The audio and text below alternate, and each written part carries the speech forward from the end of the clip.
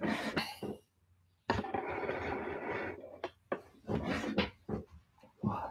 going on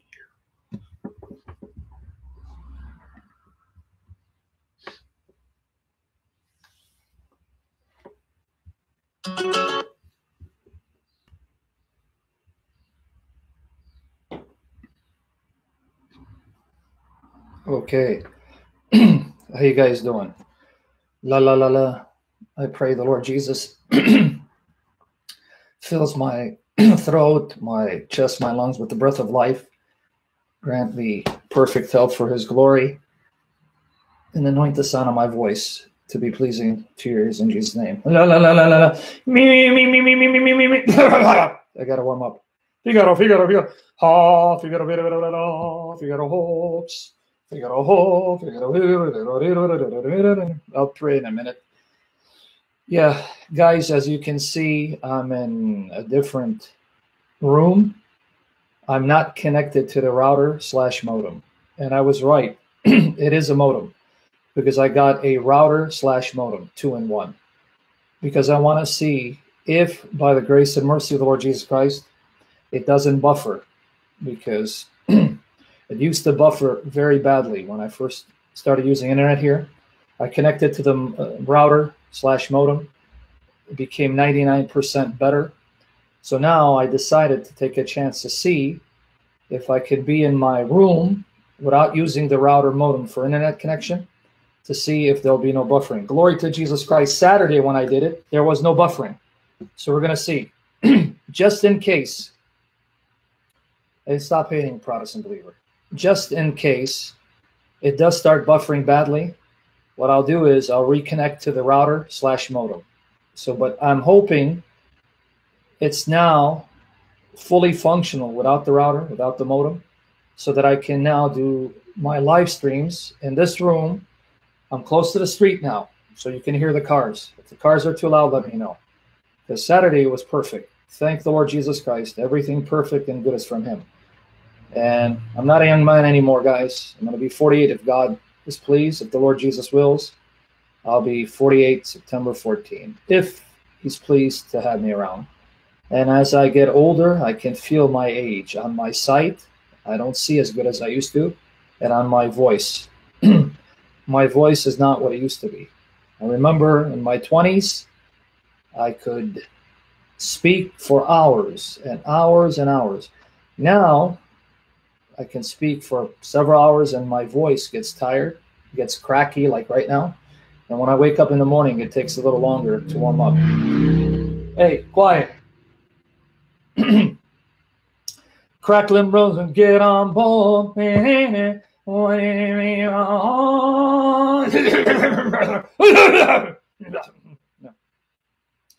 That's what opera singers do.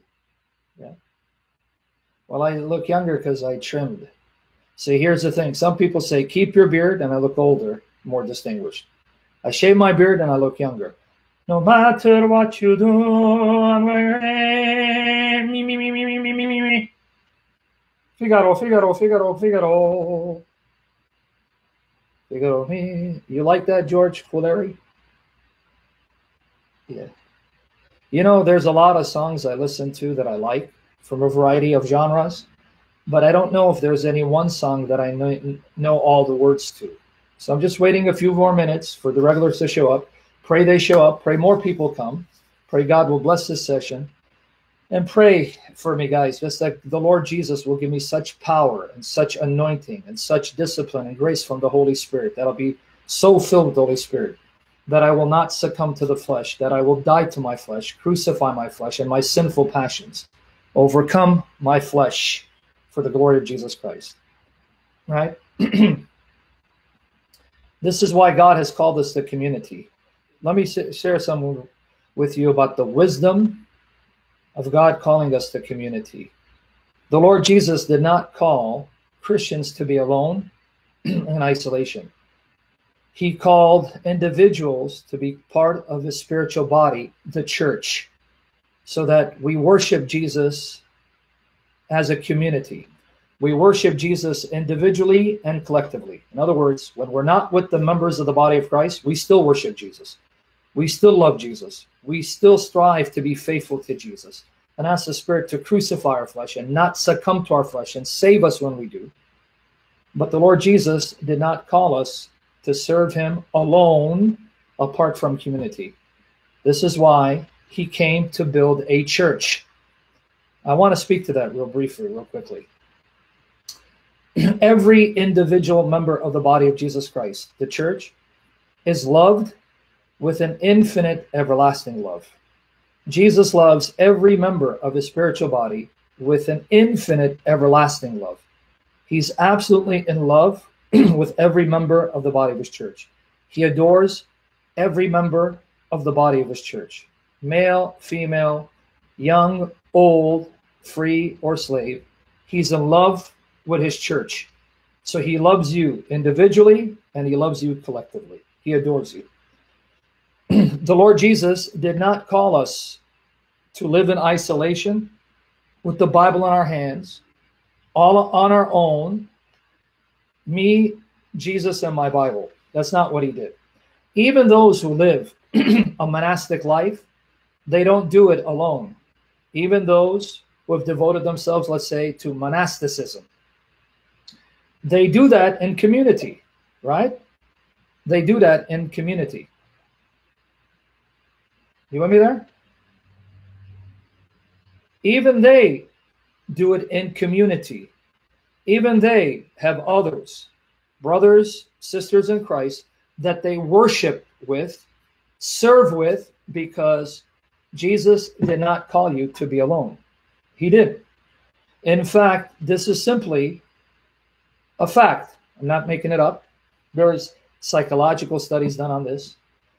A person who spends most of his time alone in isolation becomes dysfunctional and becomes a social misfit. In fact, antisocial. Those who prefer to be alone become dysfunctional and are not able to fit in with groups. They become quite awkward and antisocial and that's not healthy. That's why Jesus called a church members of his body, being nourished by the head, the Lord Jesus, being filled with the Spirit, to be in community, interdependent, depending on one another as we depend on the head to supply all our needs and glorify Jesus Christ. Right? So do not take community lightly. Even here, we're community right now, right? Because of COVID 19, we're not able to gather together physically in one location, but we're gathering together via social media. But you need a church. And for to be honest, the scripture, I don't know why would you say you've never been a groupie, Talitha Kumi. I want to be kind and considerate to you because you seem to be a sister in the Lord. I'm talking about community and you're talking about being a groupie. I don't know if I should be offended at that comment and if you're mocking and blaspheming Jesus Christ and his church, because I didn't know to be part of the church makes you a groupie. Can you now explain to me why you would make that comment when I'm talking about talking about the church? No, no, help me understand why would you mention I've never been a groupie when I'm talking about the church and community forming the spiritual body of Christ? Why would that comment?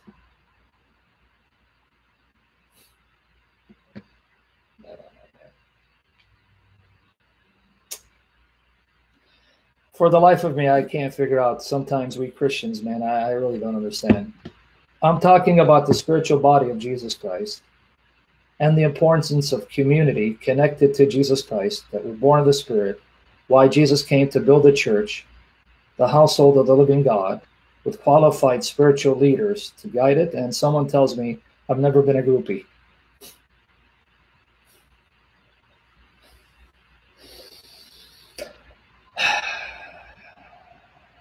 Sister, I, man, uh, boy. All right. Uh, plur, uh, are you here? Are you here, my friend? Pray that the Lord Jesus will fill us with the Spirit, fill me with the Spirit, fill my chest, my lungs, and my throat with the breath of life, the health I need to glorify Jesus Christ. Okay, pleromic. Let me explain to you why some people were disarmed by your use of Gnostic sources. Pleromic. I called you pleroma. Sorry about that. Even your name, pleromic. is it a play on pleroma?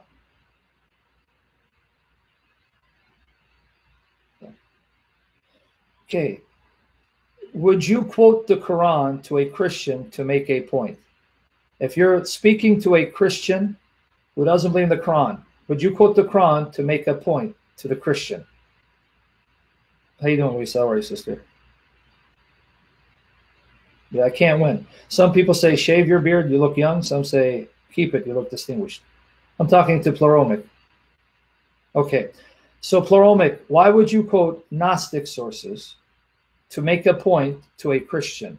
You see why people get upset and why alarms go off? Because Gnosticism, that's the table, that's the term. Lord Jesus, loosen my tongue. Holy Spirit, take over my words to save me from error.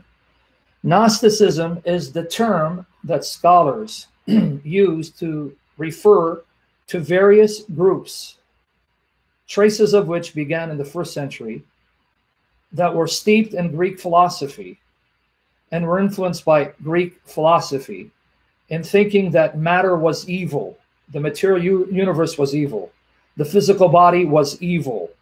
And so the divine Christ either never became flesh or he assumed, never became flesh, either because he simply appeared in a human body without becoming flesh, or he indwelt the human Jesus and left him at the cross. Cross. So why would you quote a source that talks about the archons to make a point when that's based on the Gnostic worldview that tries to make Jesus and his followers into Gnostics? Why would you do that? When you say you're not, you don't limit yourself to the canon, then why stop with the Gnostic sources? Why don't you quote the Hindu scriptures? Why don't you quote the Quran or the Hadiths. No, but you did say, I looked at your comments, that you don't limit yourself to the canon. Did you not say that? I don't want to scroll back and quote you because I was reading the comments. Why the Daily Gripe took issue with your citation. Now I see why. Okay. Okay. So then why not then quote the Quran for me, quote the Hadiths, quote the Vedas, anything and everything to make your point. All truth is God's truth. We know that. But as a Christian, when you want to make a point to another Christian, why would you quote Gnostic sources? You understand the point, Shlama? I'm helping this brother because he's growing in his faith and I'm helping him and I'm trusting the Holy Spirit will help me to help him to become more spiritually mature in Jesus Christ. Yeah, or quote the Book of Mormon, exactly. Okay. Now, for pleromic, guys, let me help him in this area because even Christians are ignorant of this. pleromic, you do believe the Holy Bible is the inspired, inerrant, infallible Word of God, right? God's true word and his voice to his church, correct? I just want to make sure, because if so, then anything I quote from the Bible, you must accept provided I interpret correctly. And I'm trusting the Holy Spirit to illuminate me with wisdom to interpret it correctly for the glory of Jesus Christ. Are you there, Pleromic? I'm trying to help you, brother. I don't want to take more time than necessary because I want to begin in prayer and begin the topic. Don't have disappeared on me. Isn't it interesting when you're trying to help someone, all of a sudden they go silent, they don't answer? Yeah. That's okay. I'm not talking about the monastery. I'm talking about you, and I'm talking to you. Okay, I'm talking about you and to you, pleromic, which you did not answer the question now. Notice you avoided answering the question. Let me try this again. Do you believe the Bible is the inspired, inerrant, infallible Word of God? It is God's truth, His voice speaking to the church.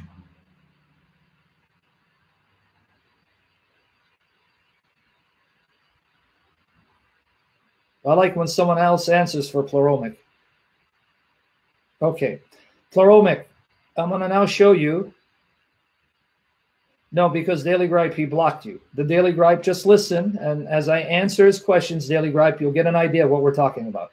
Now, Plurilomic, if you're listening, friend, for the sake of the Lord Jesus Christ, I'm now going to show you from the Bible that Jesus Christ is in heaven as a glorified man with a glorified human nature and a glorified physical body. He has a physical body of flesh.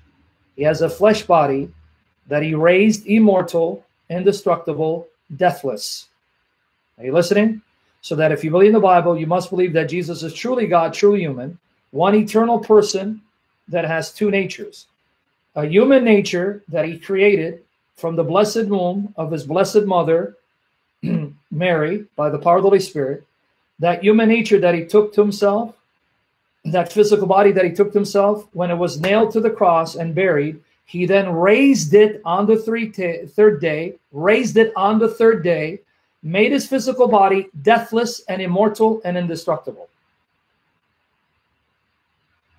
Okay? Are you ready for the evidence for that? I want to quickly answer for you so you know what to believe as a Christian and we move on. Okay.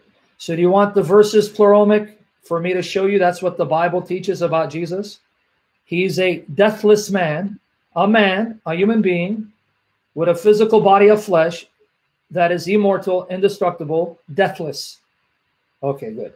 So guys, bear with me as I give him the verses to demonstrate this. We begin in prayer after that, God willing, and we begin the session. Now, is Protestant here? Rima, no, he didn't. Rima, my sister, you know I love you too, right? Did you hear the part where I said Jesus created his human nature?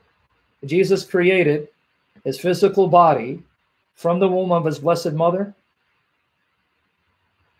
This is why, guys, I encourage you. If you get involved in chatting in the comment section and talk about issues not re relevant to the topic, you're not going to be listening to me. You're not going to be learning, and you're going to do yourself a disservice and then end up distracting me to repeat a point I made. Right? You were here for what, Plurilomic? Not you. I'm talking to Rita, Rima. Because people are busy talking about other issues in the comment section. I'm looking at it. And so when you start talking about something, that means you're not focused on the session and what I have to say and then you're not going to learn. And then you're going to ask me a question I already answered if you're listening. I'm not saying Rima necessarily. So it's not directed to you necessarily. Right? you want me there? Okay, now let me show you where the Bible says when Jesus was raised on the third day. On the third day. that resurrection meant that physical body that Jesus had that could grow old, that could grow tired, get tired, fatigue, and be put to death. That physical body he raised, but he changed it. How did he change it? His physical body now becomes deathless. It cannot be destroyed. It cannot die. It's deathless and indestructible. Do you get that point?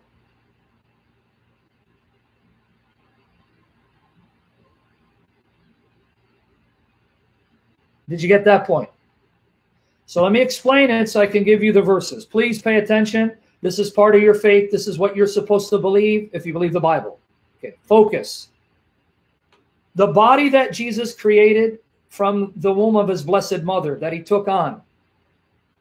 Before his death, that human body, he could grow old, get tired, fatigue, need to sleep. That body could decay and die Okay. when he raised that body on the third day, that body now becomes indestructible immortal, deathless. That body can never die and be destroyed. So that's what we call the glorified body. Do you understand the difference?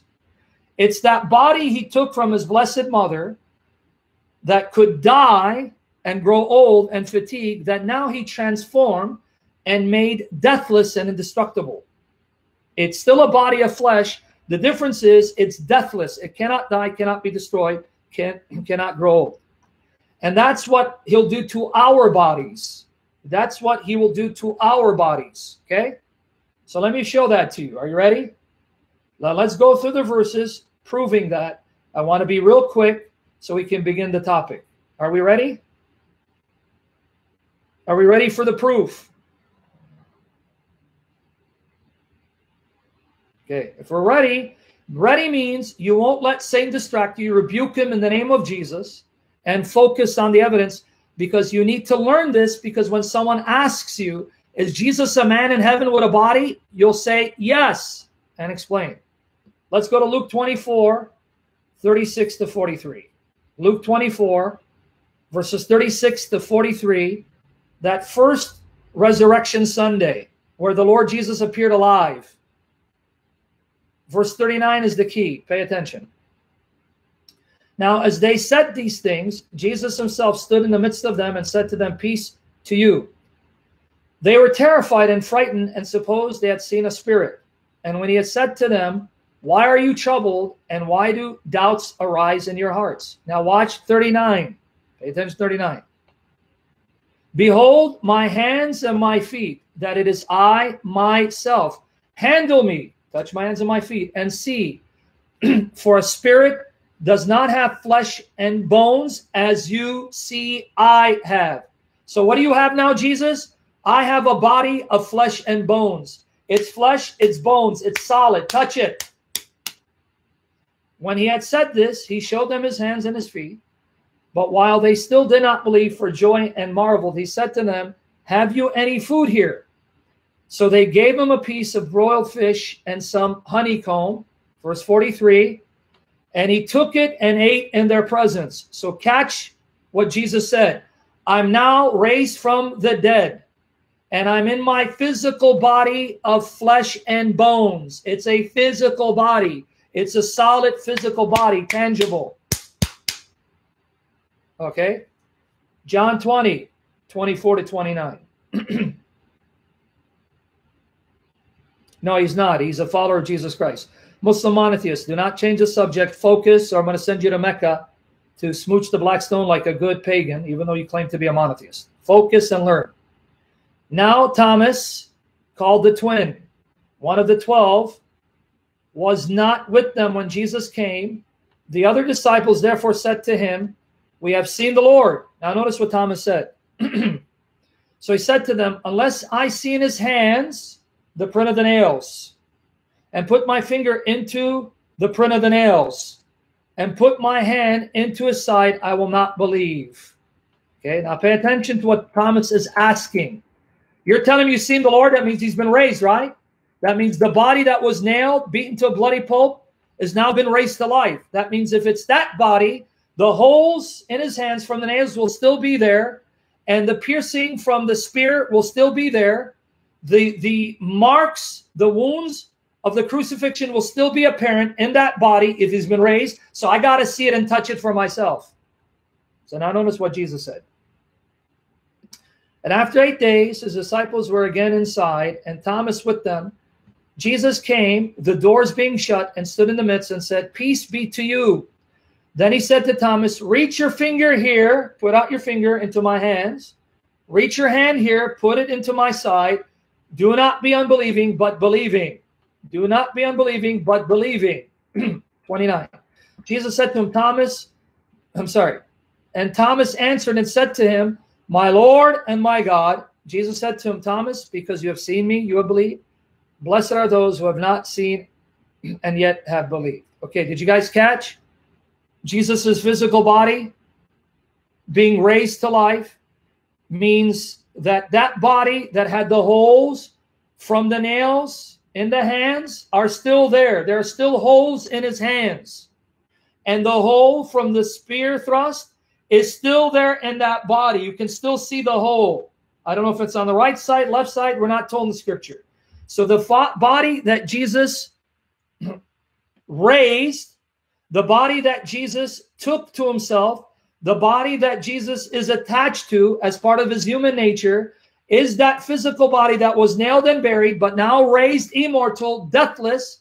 But that physical body still has the wounds of the crucifixion as part of his physical body forever and ever. Okay, plural, you so far you with me?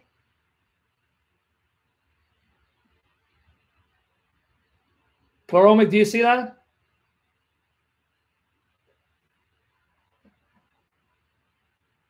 So you want to make sure Pleuromic is getting it. If you only could answer a little faster, it'd make my life easier, not less stressful. I don't know why it takes them 50 minutes to answer. Pleuromic, earth calling pleuromic.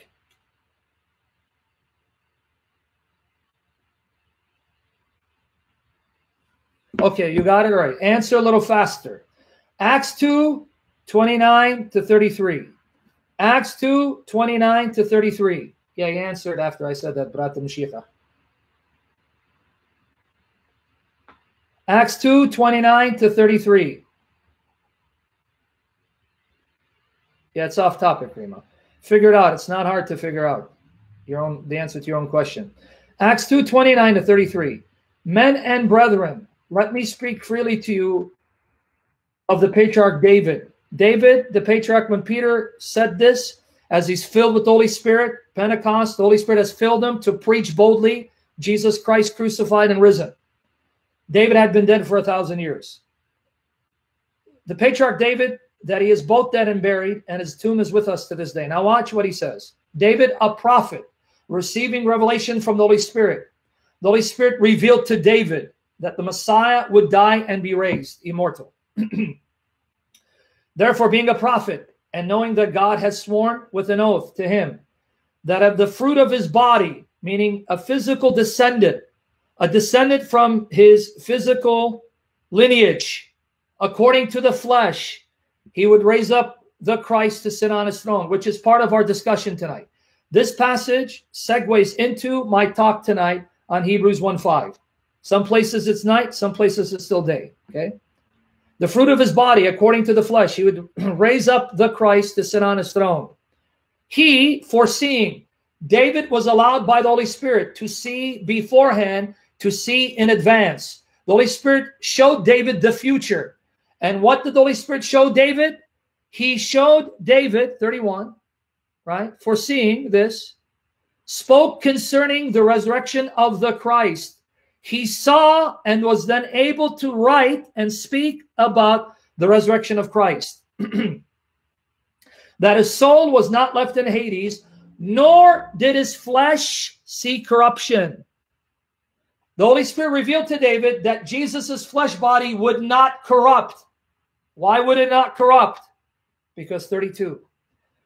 This Jesus God has raised up, of which we are all witnesses. And then 33, we are all witnesses, 33. Therefore, being exalted to the right hand of God, and having received from the Father the promise of the Holy Spirit, he poured out this which you now see and hear. Now, did you catch what Peter said about David?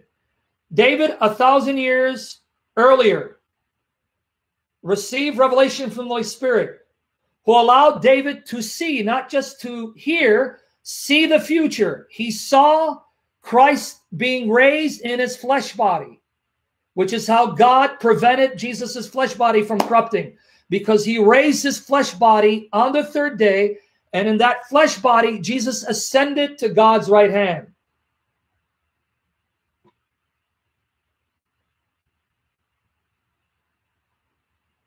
Did you catch it? Before I move on? Before I move on, pleuromic.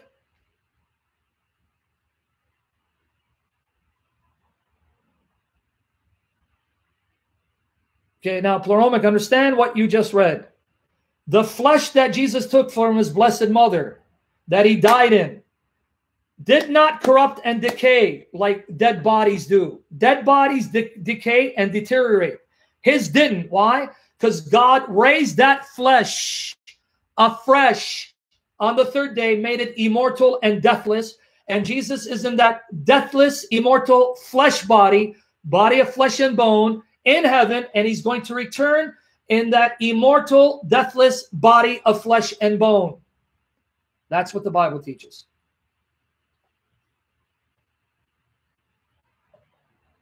That means he's still human. He's still a man because he has a flesh body because he's man.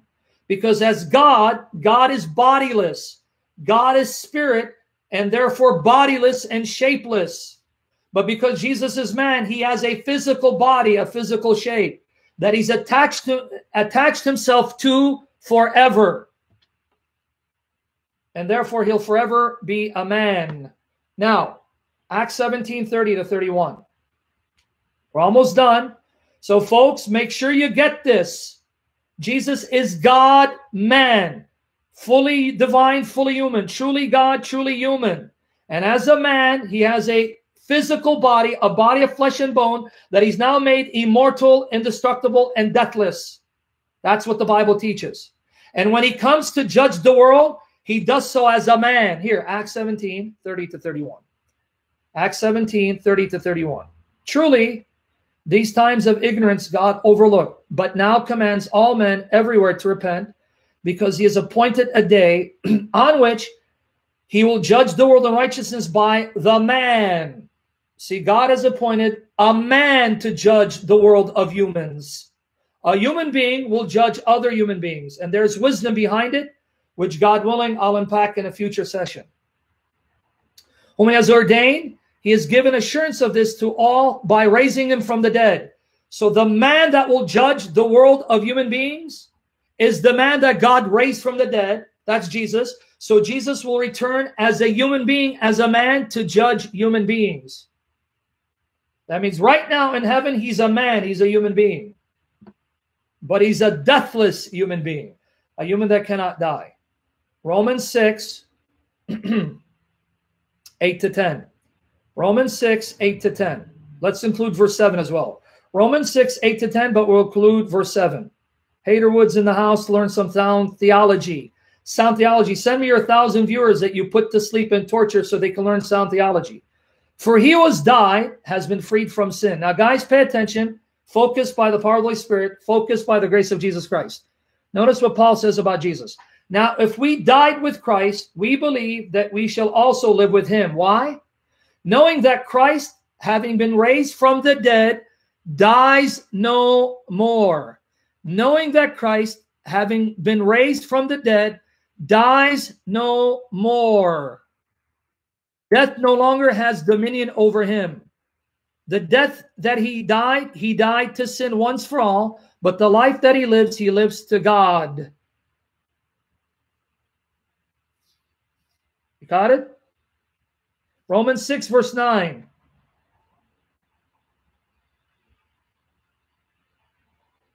Diana, who told you that if you don't die, you don't eat? Romans 6, verse 9. Knowing that Christ, having been raised from the dead, dies no more. Death no longer has dominion over him. He is deathless by nature, even as a man. You guys catch it? Don't be distracted. Focus, guys. Please, I want you to learn your theology, your what your Bible teaches. You guys caught it there? So who now mediates for us in heaven? Who now mediates before God on our behalf in heaven? Who is doing it now in heaven? First Timothy chapter 2 verse 5. First Timothy chapter 2 verse 5. Not just Jesus, no. No, no, not just Jesus. Nope. You guys don't get it. No, no. Jonathan got it. Jonathan's the only one who got it. For there is one God and one mediator between God and men, the man, Christ Jesus. See, all you guys failed royally except Jonathan Simon and Britit Mshicha. Bratit Mshicha. The man, Christ Jesus. Let me let's post it again. First Timothy 2, verse 5. First Timothy 2, verse 5. Not just Jesus, the man that is Christ Jesus. First Timothy 2, verse 5, one more time. For there is one God and one mediator between God and men, the man Christ Jesus. You got it? Hebrews 7 16. What kind of man is he? What kind of man is he? Hebrews 7, verse 16. Flamboyant pen. If I have to explain to you what the difference is, you know, you and me are going to have serious problems and you're going to be on, on my dislike list because you have people, they'll tell you Jesus mediates, but that he's not a man. He's a spirit creature. Do I need to explain it to you? Are you insulting me that I have to explain it to you? Hebrews 7, verse 16. Who has come not according to the law of a fleshly commandment, but according to the power of an endless life. An endless life. Jesus's human life never ends. Did you catch it? An endless life. Hebrews 7, 23 to 25, specifically 24 and 25. Hebrews 7, 23 to 25.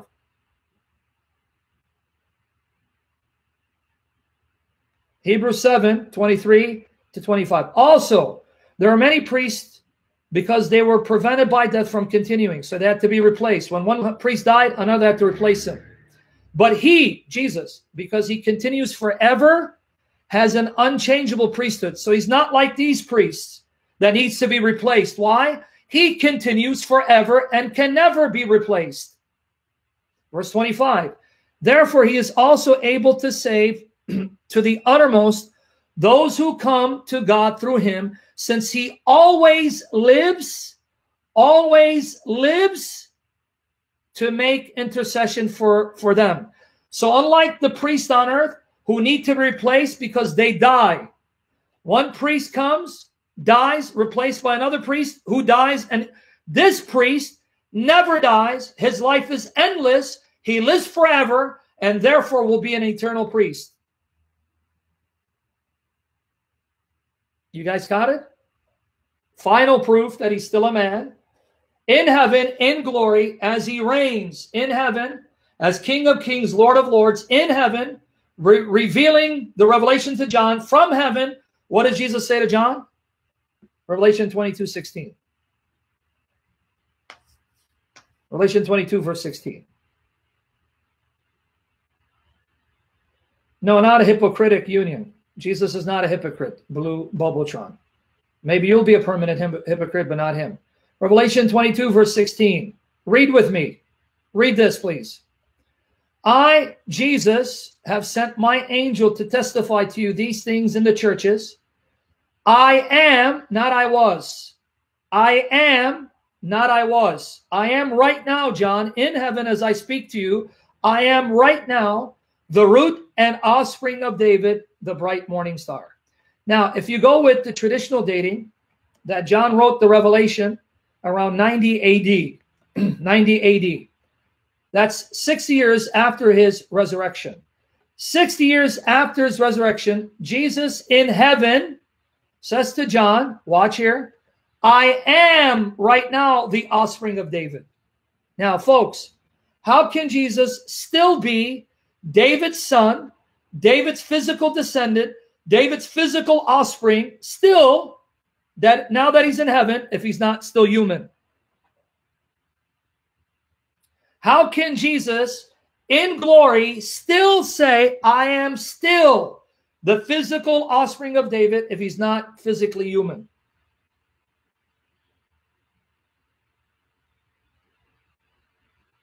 What's the answer? So, what are you supposed to believe? What are you supposed to believe? Jesus is God that became man and by virtue of the resurrection, he still remains a man with a physical body, a body of flesh and bone, what we call a spiritual body, not because it's not physical, but because it's under the power and dominion of the spirit and therefore indestructible and immortal, deathless. And because of that, that guarantees that we who are in Jesus Christ, we who are born of the Spirit, who belong to Jesus, these decrepit bodies of sin that we wrestle with, that we succumb to, sinful passions and imperfections, these bodies will be transformed to be like his physical body. So these bodies will be free of all sin and death and decay. That's what his resurrection guarantees for our bodies. And where am I getting that from? Philippians 3, verses 20 to 21.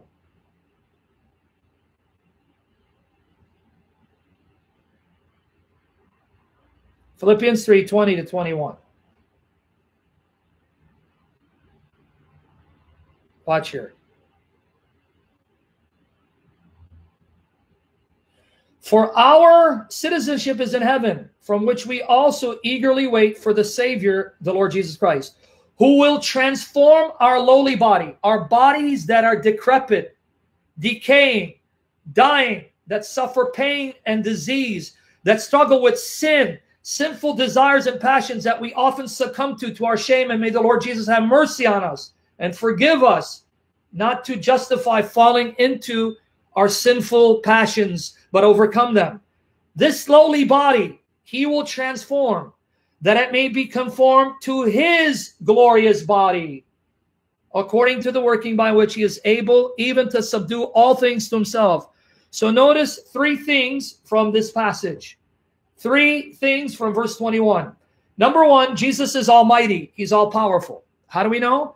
Because Paul says it is his power, his working, that not only enables him to change our bodies, all of our bodies, but allows him to bring everything under subjection to him. He must be all powerful to be able to subject everything to him and to transform multitudes of human bodies to become indestructible, immortal, deathless. Number one. Okay. Number two, Jesus has a glorious body in heaven. Jesus has a physical body that is glorious and immortal. And number three, we who are redeemed, belong to Christ, our bodies too will be transformed, made immortal, and deathless. So those who are dead in Christ, they'll return to bodies that he will resurrect and make immortal and deathless. And if we are alive, when Christ comes down, then in a twinkling of an eye, these bodies that are prone to death and disease and sin will be changed to be deathless and sinless and immortal by his power. Did you see the three facts that you you learned from Philippians 3:21? The three facts you just learned from Philippians 3:21. Jesus is the almighty son. He is a glorified man with a glorious body of flesh, and he will transform our bodies to become glorious like his. Philippians 3.21. Is that clear? That was to answer this question. Now we can pray and begin the session. Let's see who's calling me. So, Pleromic, you now know what you're supposed to believe about Jesus's body the nature of his body, and what will happen to our bodies, even the bodies of those who died in Jesus Christ our Lord.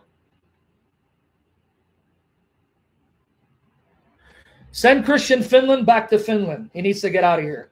I don't want you back in my my sessions anymore, Christian Finland. Stay in Finland. Don't come back here. Okay? Don't come back here. Cadence, why are you on hiding him? Cadence, should I hide you too? Get him out of here. For you to ask this question, you shouldn't be in these sessions. Go back to kindergarten. Okay. All right. It's okay, Candace. Christos Anesti may be an accident, but he's loved of Jesus. My doctrine of salvation is Nanya, Alexander. You know what Nanya is? It's a new doctrine that I came up with means none of your business. So, Alexander, let me answer your question. My doctrine is nanya. Okay? It's none of your business. You want to come here, listen, and learn? Fine. You want to come ask questions? Bye bye. Oh, bye, bye, bye, bye. Right? Okay. Guys, I'm going to get something to drink and we're going to begin. So can you pray now? Pray for me that the Spirit fills the session and fills me, crucifies our flesh, destroys our flesh, fills us with power to overcome the flesh and to forgive us when we fail, like I do in Jesus' name, because I'm going to get something to drink for my throat. So, what? Sorry, I just blew yours. Okay. I pray for the connection. I'm just going to get water. I'll be right back and I get something to drink. Bye, bye, uh, bye, bye, bye, bye. Let me sing, keep entertained.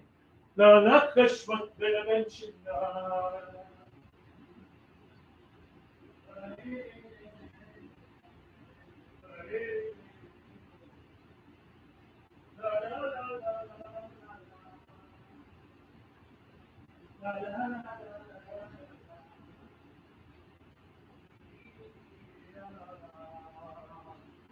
la la la la la la la la la la la la la la la la All right, all right, you got it? Okay, ready? Are we ready, folks? Now, you will guaranteed – you'll get a guarantee ban on my YouTube channel and sessions if you mock blaspheme the triune God and his word, if you justify abortion, which is murder, guaranteed ban. Now, the mods have full authority to block people at their own discretion because I trust my mods.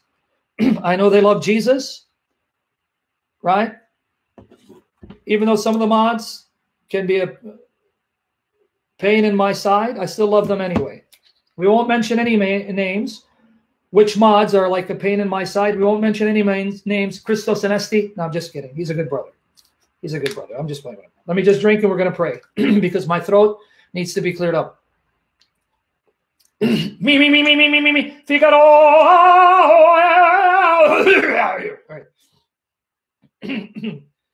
okay, let's begin. Father, we love you. Son of God, we love you. Holy Spirit, we love you. Holy Spirit, I need you, not just to teach, I need you to live the victorious Christian life. Wash us in the blood of the Lamb, the Lord Jesus. Help us to overcome and crucify our flesh, not to be hypocrites, especially me. Save me from my hypocrisy. Holy Spirit, help me to be self disciplined and self controlled, to live in the victory of the cross of Jesus Christ. Fill my throat with life, Holy Spirit. Clear out my throat, my lungs, and my chest to use my voice to glorify Jesus Christ, your eternal companion, the eternal Son of the Father. Anoint my words to be clear and accurate and passionate, filled with love for the Holy Spirit, for the Lord Jesus, for the Father. Please, Holy Spirit, filled with love for you, for the Son, for the Father. Bless them, Holy Spirit, to understand the things I say as you enable me to recall the passages and interpret them correctly. Save me from error and illuminate us, Holy Spirit. Remove the veil from our eyes to find the depth of Scripture, to plunge the depth of Scripture, the meat of Scripture, and to eat the words that you inspired. Live them out for the glory of Jesus. Destroy distractions of Satan. Destroy distractions of the sons of Satan. constrain us and control us for the glory of Jesus and help us to be spiritually disciplined. Engage in intense spiritual exercises, praying and worshiping and singing praises and fasting and studying the word and then living it out by our deeds, loving our neighbors. Help us in those areas, Holy Spirit. Help me to be a doer of your word for the glory of Jesus. May he increase in us, may we decrease and we disappear, and Jesus shine perfectly through us. Wash us in the blood of the Lamb. Wash our loved ones in the blood of the Lamb. Wash my daughters in the blood of the Lamb. Holy Spirit, sanctify us for the glory of Jesus. We depend on you. We trust in you. We love you. We hope in you, Holy Spirit, the Almighty, eternal Spirit of the Father and the Son, the teacher sent from Jesus to teach us. Have your way and bless this session for the glory of Jesus. We love you, Holy Spirit. We love you, beloved Son of God. We love you, Father the God and Father of our Lord and Savior Jesus Christ, and help me to be a doer and save me from my flesh. Please, Father, for the glory of Jesus. Save them, bless them, sanctify them for the glory of your Son. Please, Father. In Jesus' name we pray. Amen, amen. Y'all the false spirit. Side note, side note, I'm going to be compiling some citations showing the early practice of doing the sign of the cross.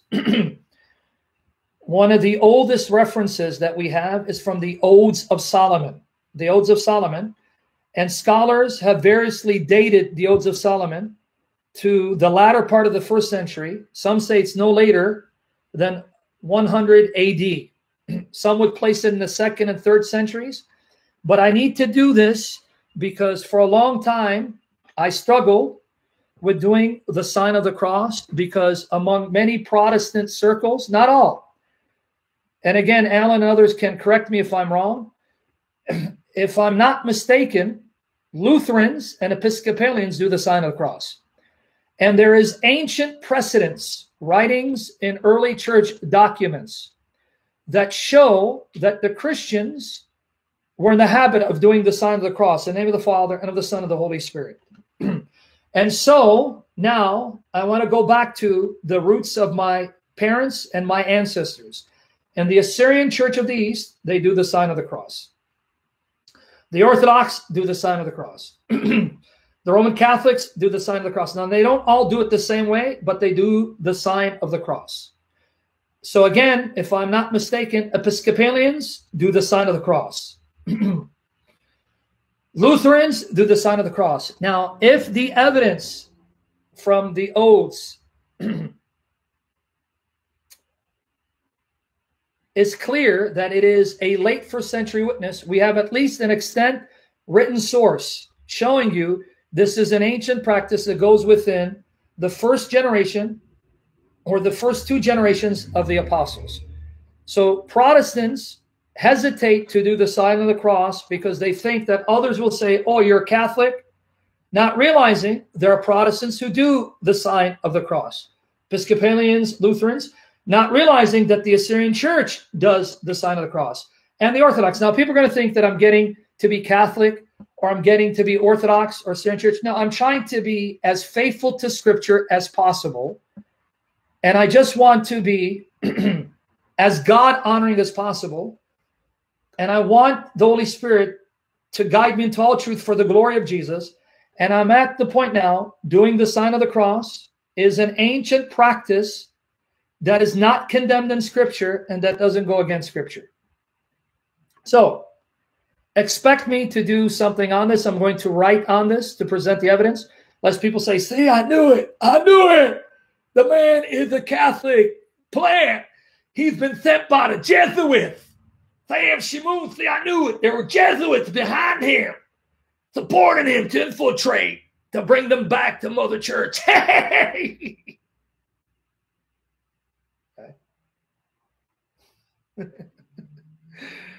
yeah. I want to be a biblicist. As the Lord knows my heart better than I do, I'm being as faithful and honest to the truth to the best of my ability, right? Trusting the Holy Spirit is my God who loves me, and I pray I love him and obey him. He'll guide me into all truth. But it is, I've heard people say, See, I knew it, Sam. I knew it. You working for the Black Pope, the Jesuits, Ignatius, of Loyola. they sent you early on to infiltrate. You trying to bring us to Mother Church? That's what you doing, sucker.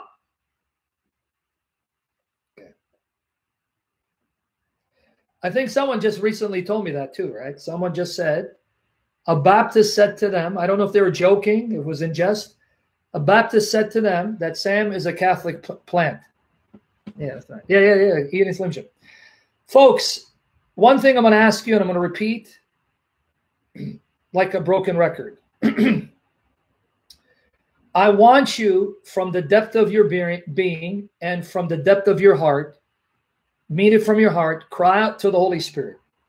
Ask the Holy Spirit to protect you, to teach you, to seal you, to perfect you, to fall more in love with Jesus, and to guide you all truth and save you from falsehood. Once you entrust yourself to the Holy Spirit, you're in perfect arms because the arms of the Holy Spirit are almighty arms to save you and love you and preserve you. Entrust yourself to the Holy Spirit. And that's what I say. Holy Spirit, my life is yours. Possess me and have your way with me and save me from my flesh. And trust him. Don't trust any human teacher or guide. And I'm letting you know, don't trust me. Don't make me more than I am. Take what I have to say, go back and study it. Ask the Spirit to show you where I'm wrong. And if I'm wrong, I'm asking the Holy Spirit to show me where I'm wrong and repent of it. Trust the Holy Spirit. I'm going to tell you again trust the Holy Spirit, seek Him, cry out to Him, beg Him. And you don't need to beg Him. The Holy Spirit is in love with you. He was sent by Jesus, who's in love with you, to seal you and guide you and perfect you and teach you and preserve you. So seek the Holy Spirit. Holy Spirit, please, my life is yours for the glory of Jesus. You are my teacher. I love you. Be my companion forever and trust him, and he'll guide you. He'll guide you to the right teachers. He'll guide you to the right information. He'll guide you to the right conclusions. It may take a while. He doesn't do it overnight, right? Look at me. How many years did it take me to discover things or to accept things or acknowledge things that for a long time I didn't want to be true? So it doesn't mean he's going to do it overnight. It means he will do it in his timing, by his grace, as you walk with him on this journey to salvation. No, you don't, low curry. Low curry arts, there's nothing in the Bible that condemns doing the sign of the cross. That's my point. Nothing that says don't do it, right? But because of evangelical Christianity and the influence, a lot of people are afraid or embarrassed to do it, right? Because they think, oh, if I do it, then maybe he's going to think I'm a Catholic. And then I'm to have some shows, maybe Divine Line, attacking me. You know what I'm saying? All right, anyway. With that said, let's begin. Are we ready? Are we ready for that? Uh, I'll give you an example what I mean. Just let me illustrate it. The other day, Lord bless Alan Ruhel, Saturday night, he invited me to do a pre-recorded session on Paul and Islam. Did you guys watch it, by the way? It's on his YouTube channel. He recorded it, he uploaded it. Paul in Islam. Did you go to his channel, Alan Ruhel? He's here, one of my mods. Subscribe to his channel, go watch it. Paul in Islam. As I was praying, he did the sign of the cross. I hesitated, but then I did it with him. I said, Yeah, name of the Father, Son, Holy Spirit. Do you know why I hesitated? May the Lord save me from all fear and shame. I hesitated because I already know people are watching me to try to condemn me and accuse me of either compromising or becoming a communicable and or perverting the gospel. Right? So post the link, Alan, for everyone. He did. Thank you. It's right there. Watch it, like it, pass it on. exactly, Ariel. I don't want to be a crowd pleaser and I don't want to be unnecessarily offensive. So pray for my journey. Okay, now that said, let's begin Hebrews 1 5.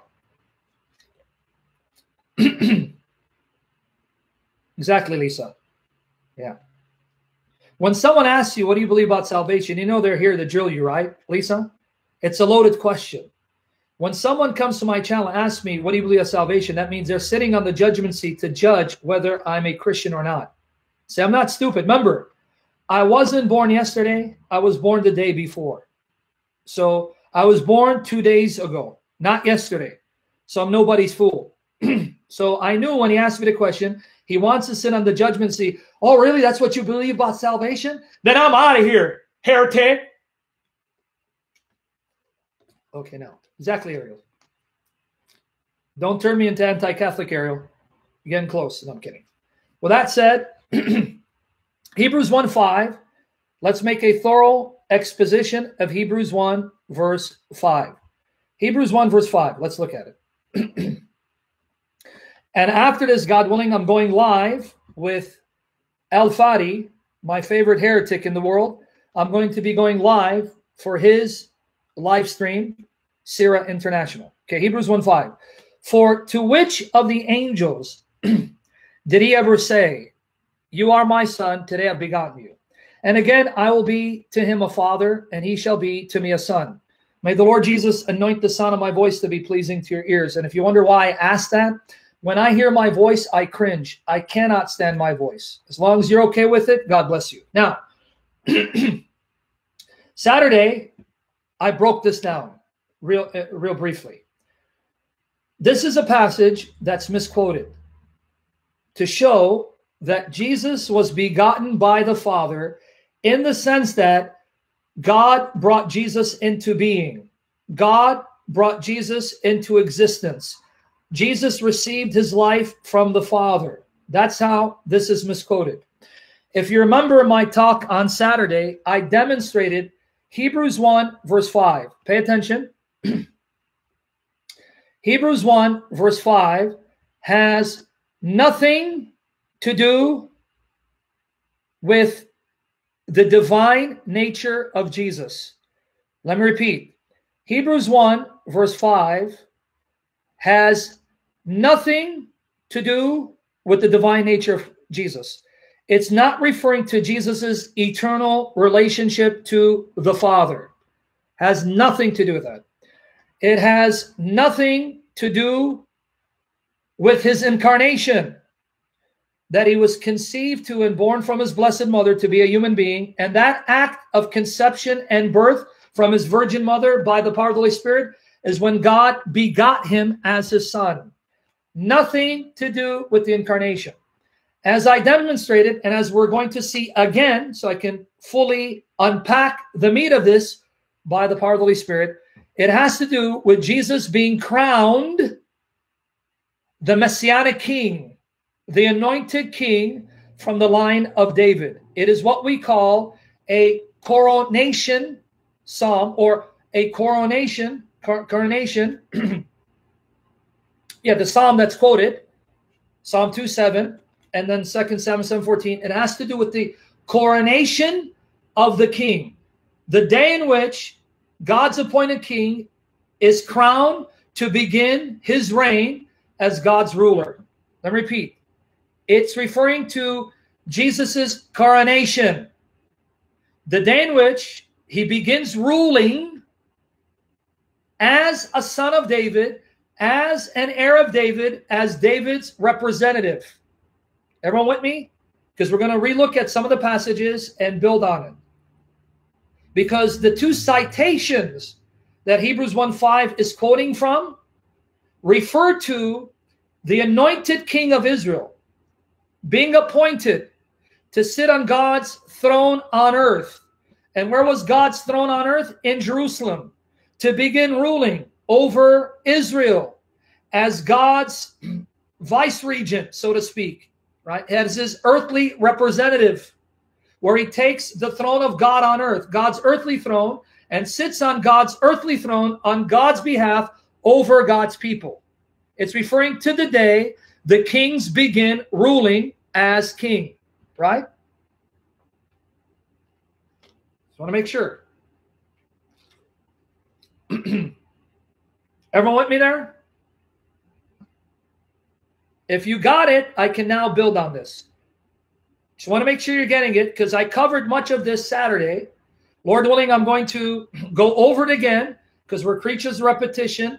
We need to hear things repetitively until it becomes second nature by the grace of God's Spirit. Now, the two passages that Hebrews 1 5, Hebrews 1 5 is referring to the two passages that Hebrews 1 5 cites from demonstrate what I just said.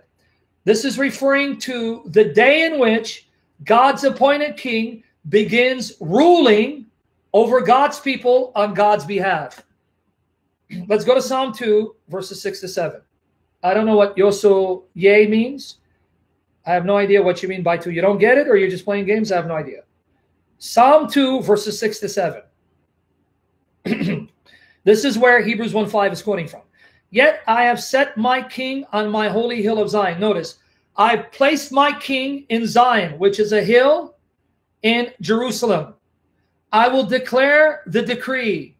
The Lord has said to me, You are my son. Today I have begotten you. Make the connection. When God says to the king, Today I have begotten you, What day is God referring to in the context? It's right there in verse 6. What's the day?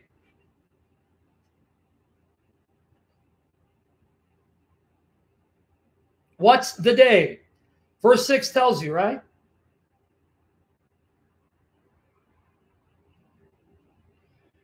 Flamboyant peg. If you show me Calvary there, I'll give you a million bucks. If you don't, I'm going to block you because I'm, I'm getting tired.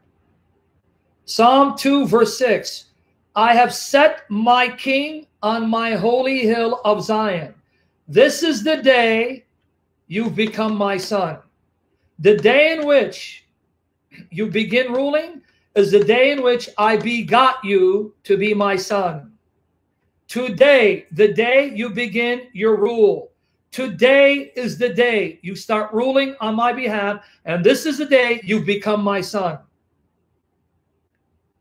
Because what does a good son do? Carry in the footsteps of his father, carries out the work of his father, and represents his father. And that's what the king of Israel is supposed to do. The king of Israel is supposed to carry out the rule of God, represent God's rule on earth, and in that sense, reflect God and the way God rules as king, and therefore is God's son in that sense. A son, biblically speaking, represents his father and carries on the work of his father. So the king of Israel represents Yahweh as king and is supposed to reflect Yahweh's rule on earth. In other words, the way Yahweh rules in heaven is the way the king is supposed to rule on earth. And since Yahweh, or if you want to say Jehovah, is a righteous king whose rule is righteous and just and perfect, the earthly king has to reflect those qualities of God's kingship. So, in that sense, he's called to be God's son because a son bears the image of his father and reflects the image of his father.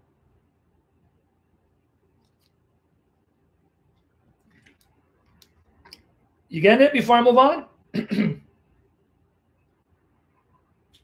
you understand what a son is supposed to do? A son is supposed to represent his father, carry on the work of his father, is the image of his father, so he's supposed to bear resemblance to his father. He's supposed to res resemble his father. So the king of Israel is called God's son because he's supposed to resemble the rule of God in heaven on earth.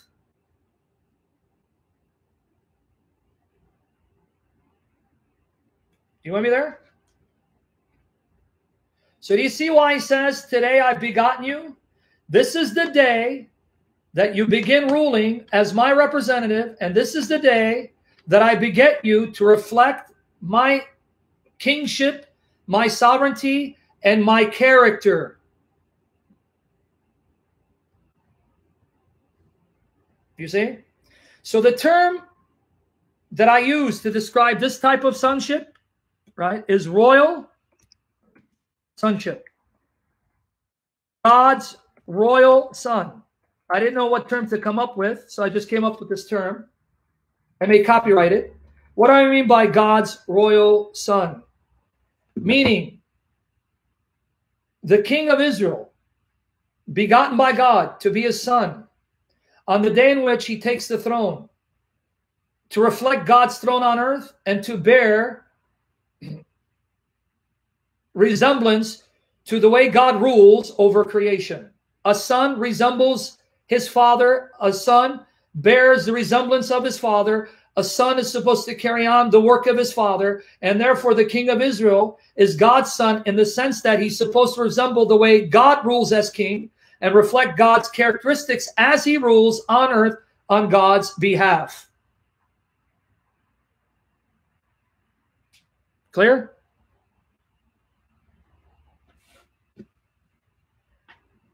Is that clear before I move on? Avinash, do you mind me? I block you now or later. When do you want me to block you? Now or later, Avinash?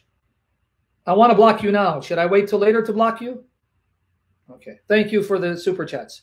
God bless you. Now, the second citation, the second citation in Hebrews 1 5, where it says, I will be a father to him and he will be a son to me, right?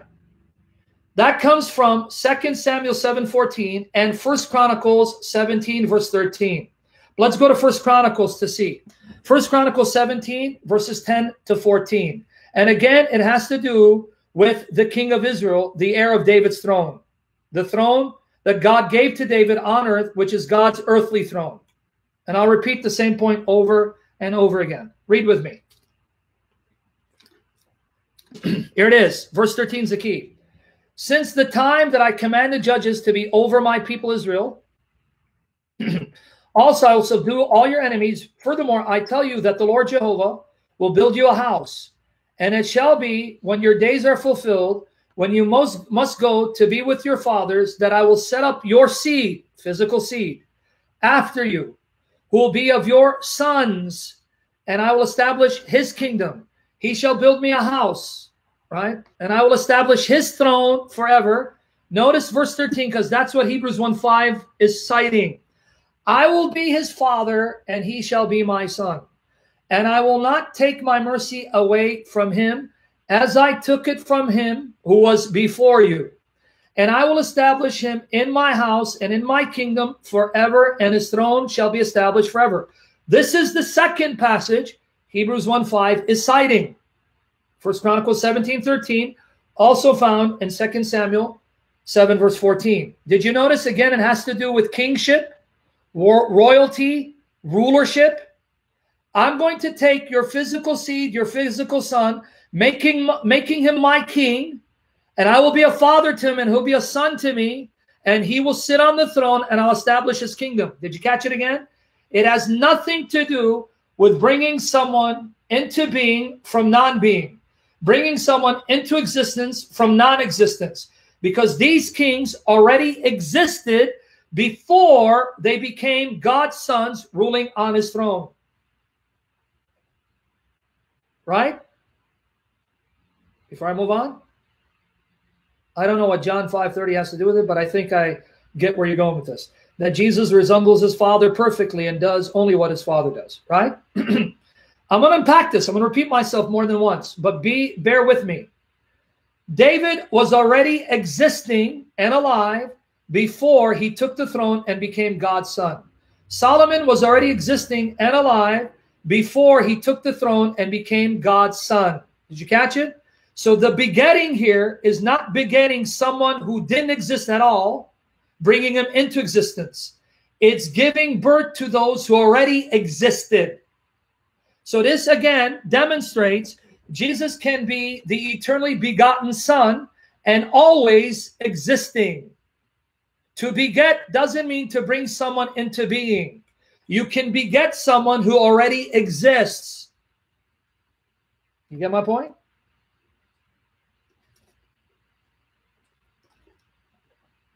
You see what I'm doing here? So how can Jesus be the only begotten son and eternally exist? Because who told you that if Jesus is begotten, he hasn't always existed? Where'd you get that from? That's not a biblical argument because David and Solomon already existed. What's good? Post John 5:30 one more time, and I will send you to Hawaii so you can be under a coconut tree and celebrate John 5:30 as you sip on coconut milk. Okay? You with me there?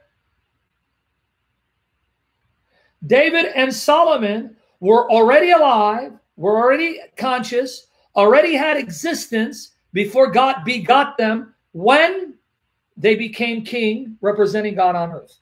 How do I know it's Solomon? Let's go to First Chronicles 22, verses 7 to 10. First Chronicles 22, verses 7 to 10. Thank you, Daily Gripe. Thank you, all the super chatters. God bless you tremendously. First Chronicles 22, verses 7 to 10.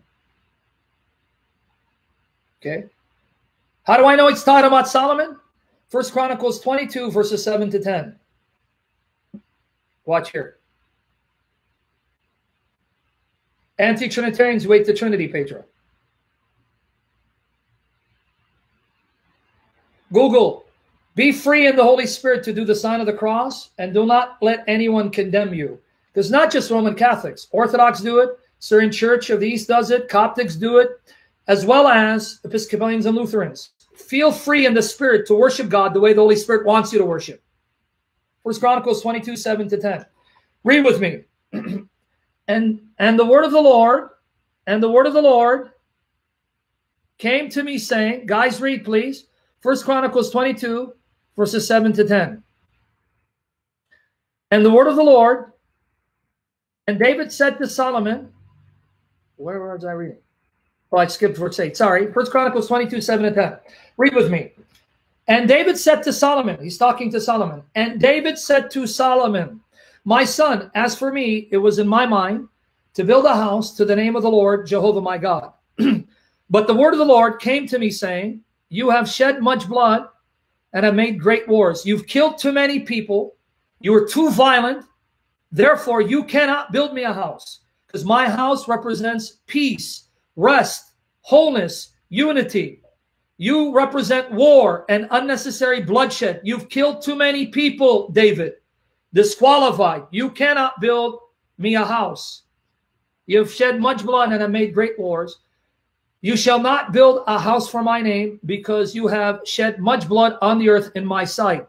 Behold, a son shall be born to you who shall be a man of rest, and I will give him rest from all his enemies all around. His name shall be Solomon.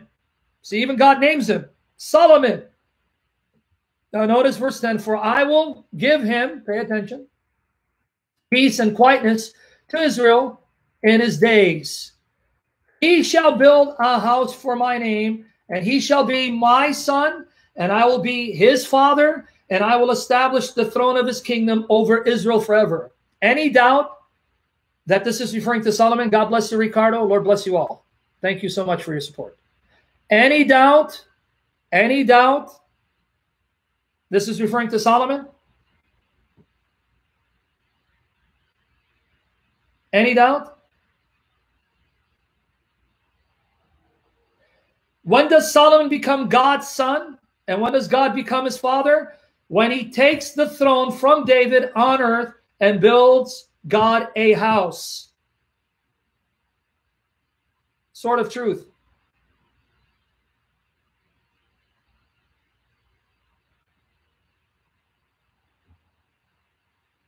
Help me, please. He says, Why Solomon? If he had chosen Hezekiah, he would have then told me why Hezekiah. But if you chose Absalom, he would have said, Why Absalom? If you if you chose Amnon, Amnon, he'd ask me why Amnon. What do I do with these people? Okay. For those of you paying attention and not asking me silly, irrelevant questions, okay, let's focus here. Do you see it's Solomon?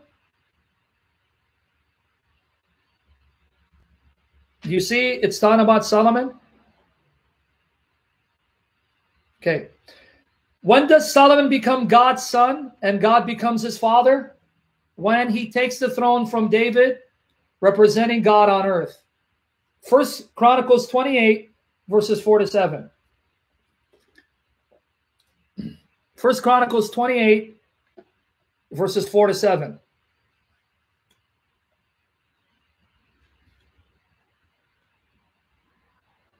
Okay. First Chronicles 28, verses 4 to 7.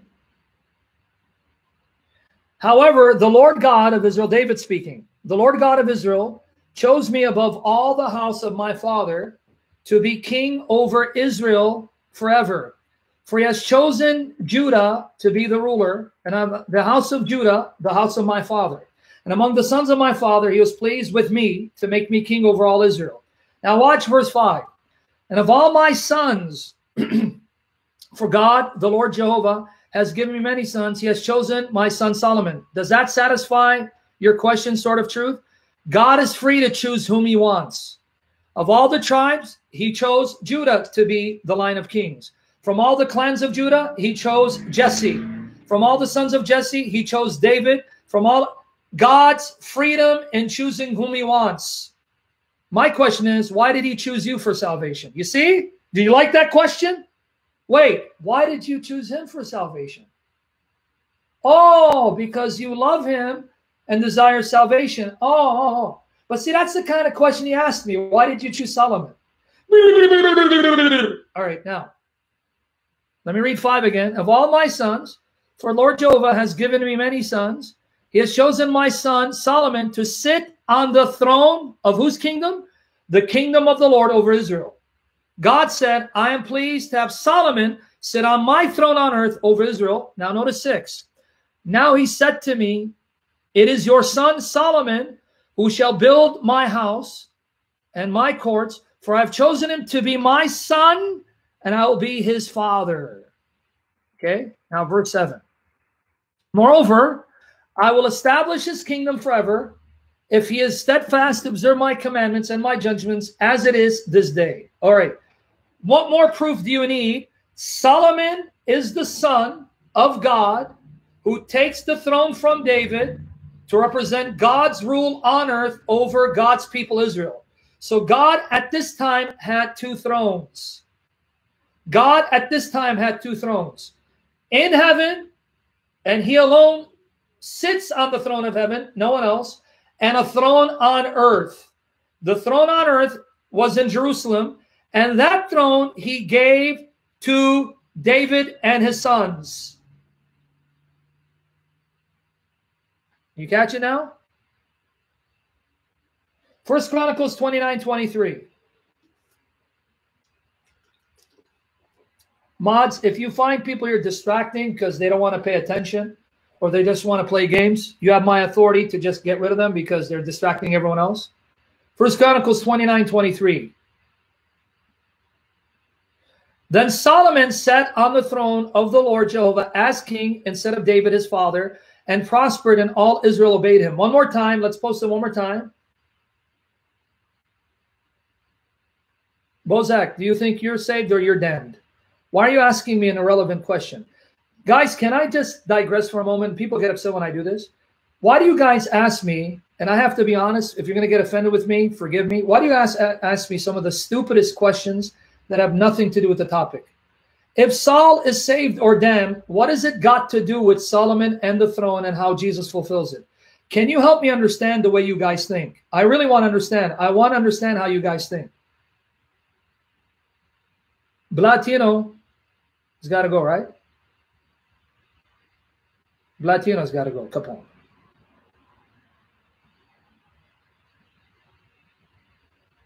Well, help me understand. Remember, I'm stupid, right? David would just call me Rain Man. Bozak, let me enter your mind. I want to think like you. What does the issue of Saul got to do with this topic? Put me in your mindset in your shoes because I want to think why you think this way. Either I'm demented or you're demented or we're both demented. I'm demented or you're demented or we're both demented. What does the issue of Saul, his salvation, have to do with Solomon?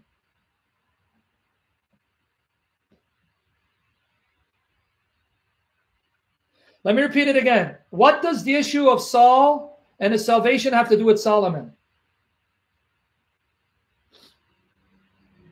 Okay. Let's come back. First Chronicles 29 23.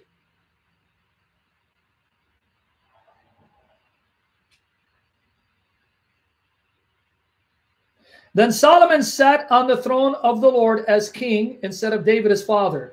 So he took the throne from David. The throne given to David, Solomon inherits, inherits, right? And prospered, and all Israel obeyed him. Okay. Yeah, Syrian, maybe I should beat your mother for giving birth to a dog like you, Syrian. Can I beat your mother, silly? Or maybe your dad did it. Just kidding, Christians. Just saying. Okay. Now, let's go to Second Chronicles 9, verse 8. Second Chronicles 9, verse 8.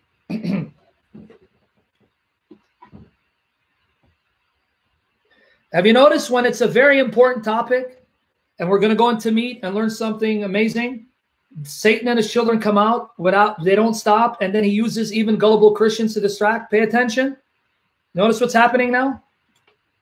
Second Chronicles 9, verse 8. Blessed be the Lord your God. This is the Queen of Sheba talking to Solomon. Blessed be the Lord your God, who delighted in you, in you, Solomon, setting you on his throne. Whose throne? God's throne. To be king for the Lord your God because your God has loved Israel to establish them forever. Therefore, he made you king over them to do justice and righteousness. Okay, now, Did you guys catch it? The throne is given to David to rule on earth, God's earthly throne. David's throne is inherited by his physical sons, whom God appoints to be his successors. Who's the first successor of David? Solomon. Notice that each of the kings that sit on God's throne are said to be the Son of God, said to be the Son of God. Whoever takes the throne in Zion, in Jerusalem, to rule over God's people, God's earthly throne on earth, God says, You are my son. Today I've begotten you. This is the day I begot you to be my son. What's that day? The day you take the throne to rule as king, representing me on earth. Why does God beget them to be his sons? Because a son is supposed to resemble his father. As Holy Spirit strengthens my voice and loosens my tongue to bless you. A son is supposed to resemble his father and carry on the work of his father. So, David, you are my king on earth, on my earthly throne. That means your responsibility is to resemble my rule in heaven. The way I rule in heaven is the way you rule on earth. This is part of our Lord's Prayer, guys. Our Father who art in heaven, hallowed be thy name. Thy kingdom come, thy will be done on earth as it is in heaven. Are you catching it now? You catching it now? You, the king of Israel, are to manifest my kingdom in heaven on earth. The way I rule in heaven is the way you rule on earth. So I beget you to be my son, meaning, as my son, you are called to resemble me in the way I rule and in my characteristics. My rule is perfect, your rule has to be perfect. My rule is just, Yours is just. Impartial, impartial. Holy, holy. Compa- you get it now, right? No, pleromic. Pleromic, you know that's a masonry statement, right? I don't know what's wrong with you if you're demonized. As above, so below, that's the Masonic slogan. Why are you mixing in Gnostic, Satanic, Masonic slogans with Christianity? What is wrong with you?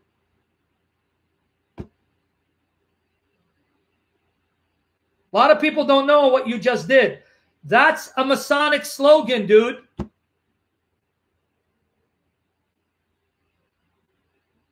As above, so below.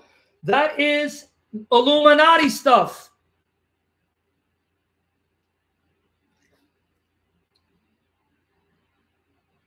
It's not he doesn't know. The dude keeps reading mystical literature, Gnostic literature. What is wrong with you, man? Are you in, in bed fellowship with Satan?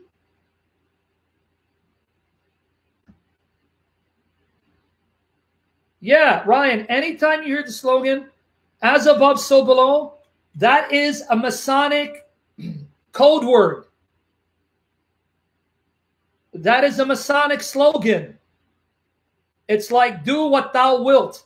That is the saying of Aleister Crowley, the great beast, who said, My will, not your will be done. Do what thou wilt in opposition to God.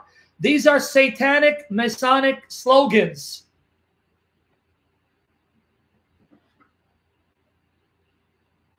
Yeah. As above, so below. I mean, dude, what is wrong with you, man? Earlier, he was quoting the Gnostic Gospel of Philip a Gnostic book he was quoting to Daily Gripe. Yeah, as above, so below. That's masonry, man. That's masonry. Yeah, and earlier, Daily Gripe can tell you. Even Daily Gripe got, got on him. Why are you quoting Gnostic sources? Right, Daily Gripe? You're here. Guys, please. Jesus and Belial never mix. Christ has no fellowship with Belial.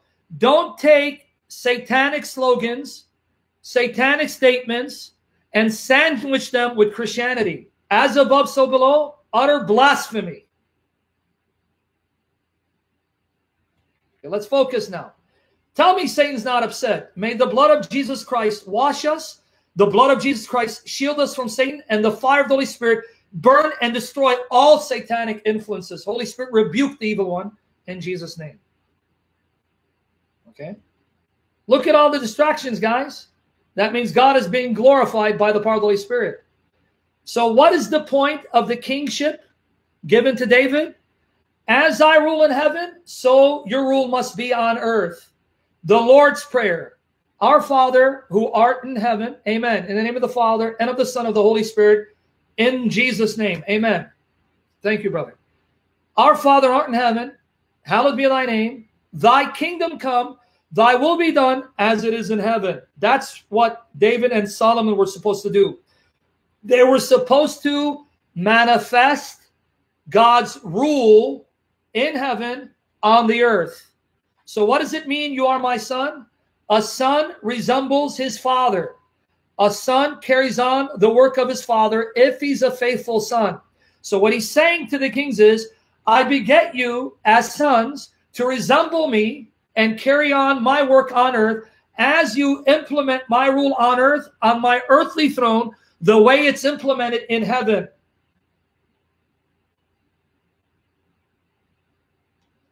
You with me there?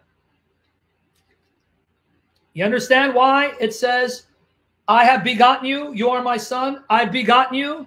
You now take the throne, David. You now take the throne, Solomon. You now take the throne, Hezekiah. This is the day I beget you spiritually, not sexually. God is not a sexual being, He's a spiritual being. I beget to be my sons because now you have the responsibility as a good son to resemble your father and to carry on my work on earth. If you fail, then you'll be disciplined.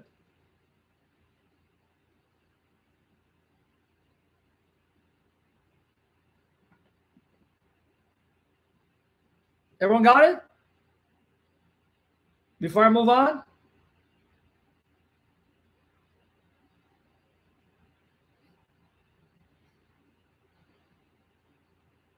Pay attention. Don't let Satan distract you.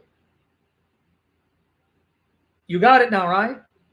So Hebrews 1 5 has nothing to do with Jesus's eternal relationship to the Father. Hebrews 1 5 has nothing to do with Jesus's incarnation.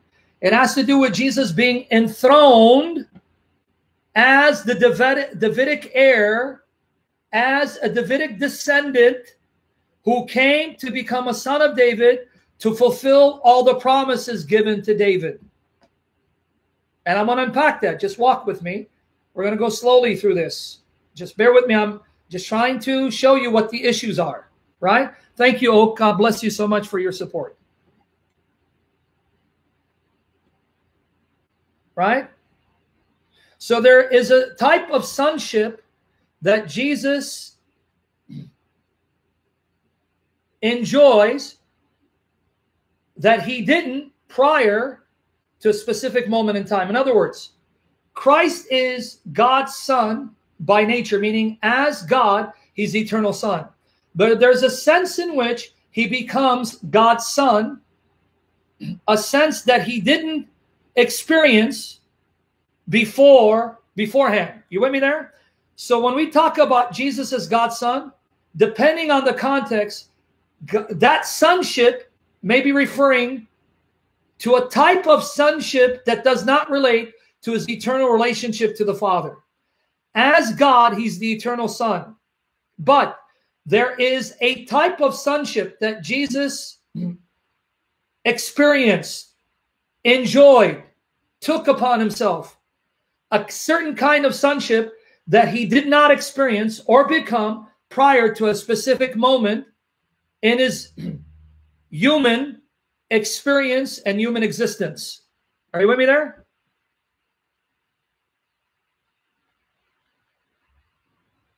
Pedro, you got it. As God, he's the eternal son. But there is a type of sonship that Jesus experienced, that Jesus became, that Jesus took to himself, that wasn't true before the incarnation, before a certain stage in his human existence.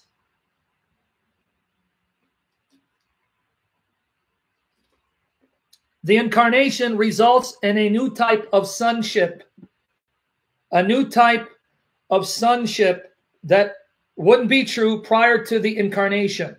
The incarnation is the first step towards that new type of sonship, a new experience as God's son.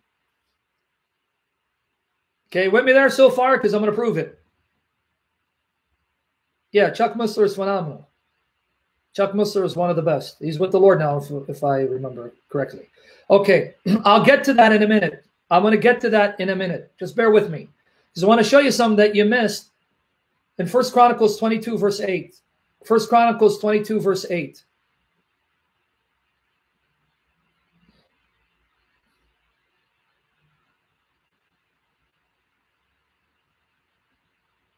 Exactly, Bill Thompson. First Chronicles 22, verse 8.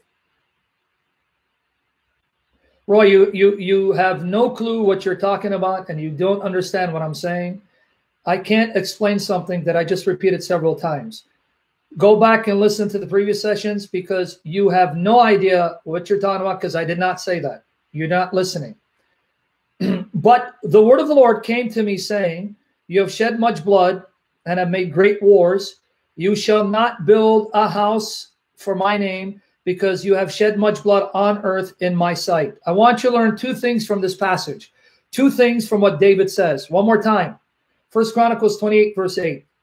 One more time. Two important facts from this passage. I want you to glean two things from what David says to Solomon. Catch it again. Okay. Christos, you got it, brother. God bless you. You got it. The Holy Spirit's illuminating you. May he illuminate everyone, even Roy, for the glory of Christ. Guys, two facts to note from this. But the word of the Lord came to me saying, number one, Jesus told David this revelation of an everlasting dynasty that would be his by grace. Notice who told David, the word of the Lord came to me saying, Who's speaking to David? Jesus as the pre human word of God. Did you catch it? The word of the Lord came to me saying, so Jesus, the word, in his pre human existence, before he became flesh from his blessed mother, came to David and revealed David the following revelation. God has sworn to make you an everlasting dynasty. That's one. Okay. The second point I want you to glean from this passage. Notice what Jesus told David. Jesus, the word of the Lord, coming to David, speaking to David, says, You cannot build me a house because you are a man of war and you've shed too much blood. The second fact I want you to notice God did not endorse or condone all the wars and the bloodshed that was committed by the kings of Israel, including David. Not every war, not every bloodshed had God's approval. Just because the Bible mentioned it doesn't mean God confirmed it, was okay with it, because you just read it right there. You cannot build me a house. You've shed too much blood and you fought too many wars. Even though I protected you from being killed and I had to guard you from being killed, you did what I didn't approve or command. One more time. First Chronicles 22, verse 8. Read it.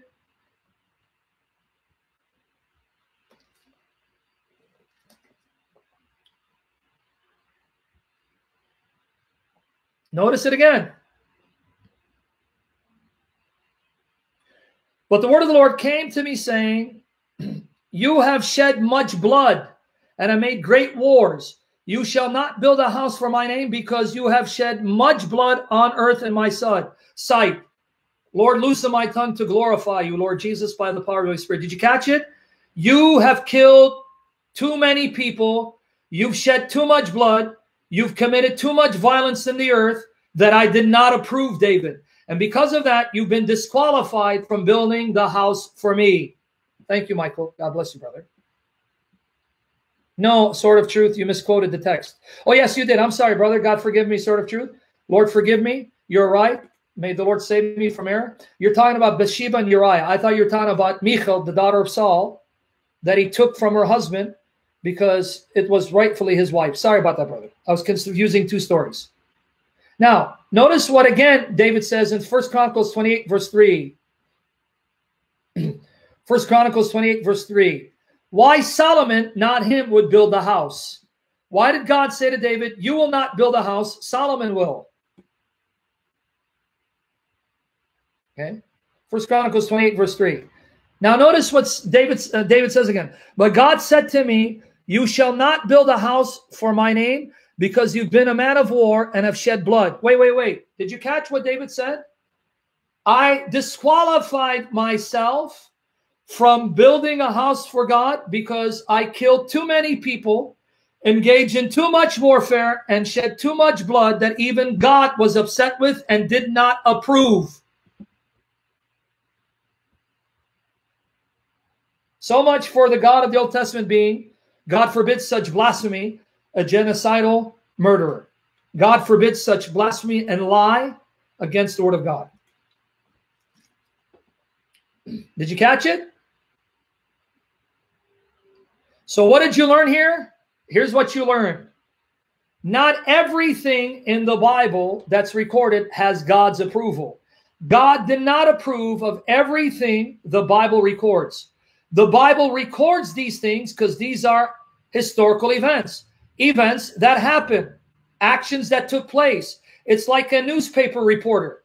A newspaper reporter reports crimes that the reporter doesn't agree with, but he has to report them because he can't lie or sugarcoat them. And the Bible is an honest, inspired record of actual historical events, much of which God did not approve but condemned. Exactly, and that's why it's called chronicler. Chronicler. Okay, did you catch it? So two facts from First Chronicles 22 8. Jesus is speaking to David. Jesus is the word of God who in his preeminent existence came to the prophets and spoke to the prophets and revealed God.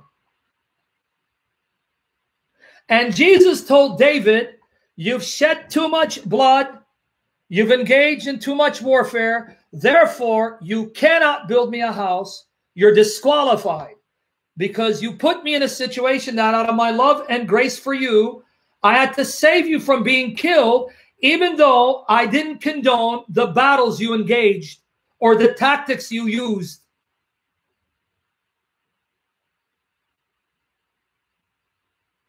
Thank you, Michael. God bless you.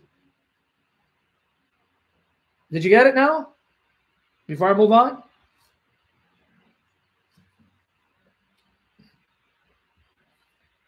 So now orthochristos, because two people asked me, Bozak, so it turns out, Bozak, you and I and orthochristos were all demented and weird because our minds operate in a very weird fashion.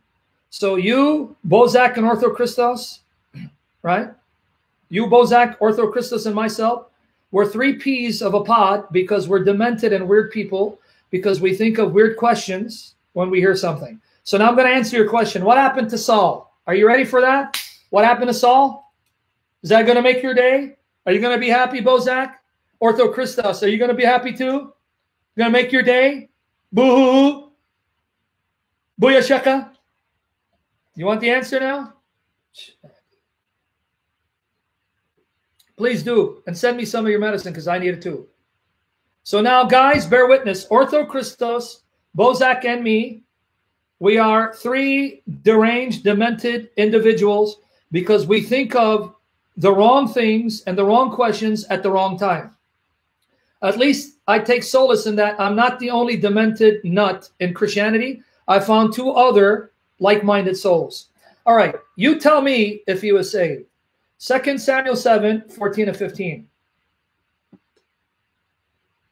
2 Samuel 7, verses 14 and 15. I already have my mask on, Dominus. Can't you tell this is my mask? I'm actually better looking in real life. Okay, guys. Ortho Christos, Bozak, everyone else, tell me if Saul was saved. I will be his father, and he shall be my son. If he commits iniquity, I will chasten him with the rod of men and with the blows of the sons of men. but my mercy shall not depart from him, as I took it from Saul, whom I removed from before you. I will not take my covenant faithfulness, chesed, love from Solomon, even when he sends, as I took it away from Saul. First Chronicles 17, verses 13 and 14.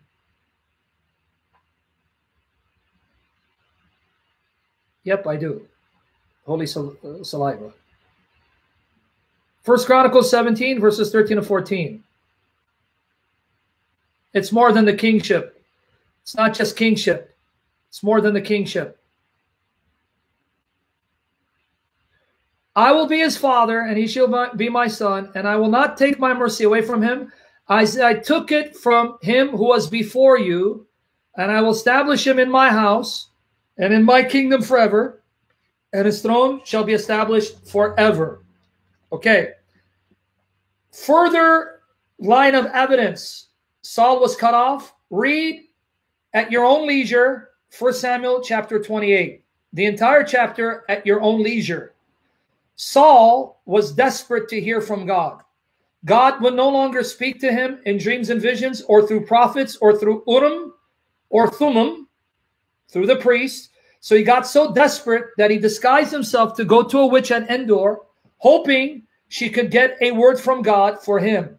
The spirit of Samuel shows up and he says, Why have you disturbed me and raised me from my rest? God has cut you off and refuses to talk to you. He's done with you. Right there for Samuel 28. God is done with you. He wants to have nothing to do with you. That's why he's silent. He won't talk to you anymore. When God goes silent on you, that means you've reached the point of no return. It's over. You've now committed the sin that God will not forgive, the blasphemy of the Holy Spirit. So, First Samuel 28. So, when you take all these chapters together, what's the conclusion? God rejected Saul indefinitely because Saul had reached the point where he had grieved the Spirit and committed what the New Testament would call the blasphemy of the Holy Spirit, and therefore there was no repentance for him.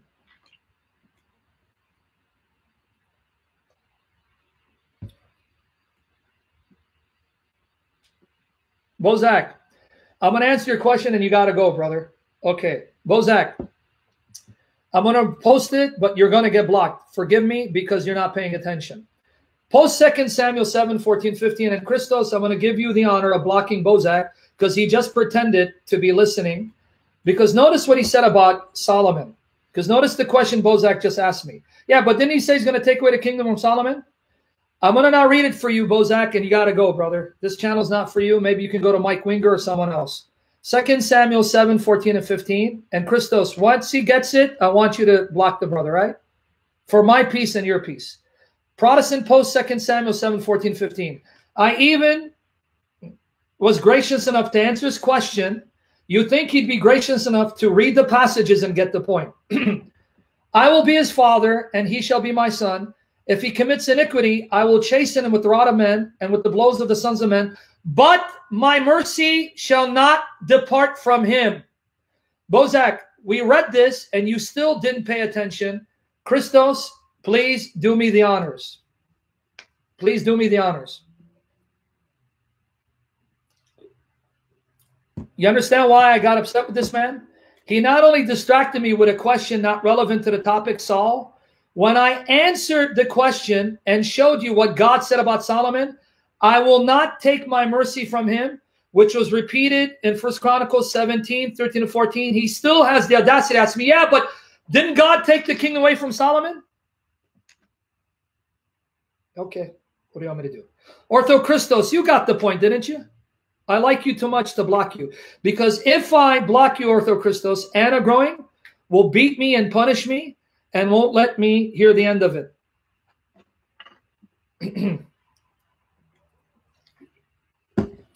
Okay, but you got the point. See, exactly. I told you. Did everyone understand? God swore he would not cut off Solomon from his mercy, unlike Saul. Was that clear? Did you guys get that? So you know the answer, right? Did God cut off Saul? Yes. Did he cut off Solomon for sin? No, you just read it. Even if he sins, I'll punish him, but I will not cut off my mercy from him. Black and white in your face. It's right there.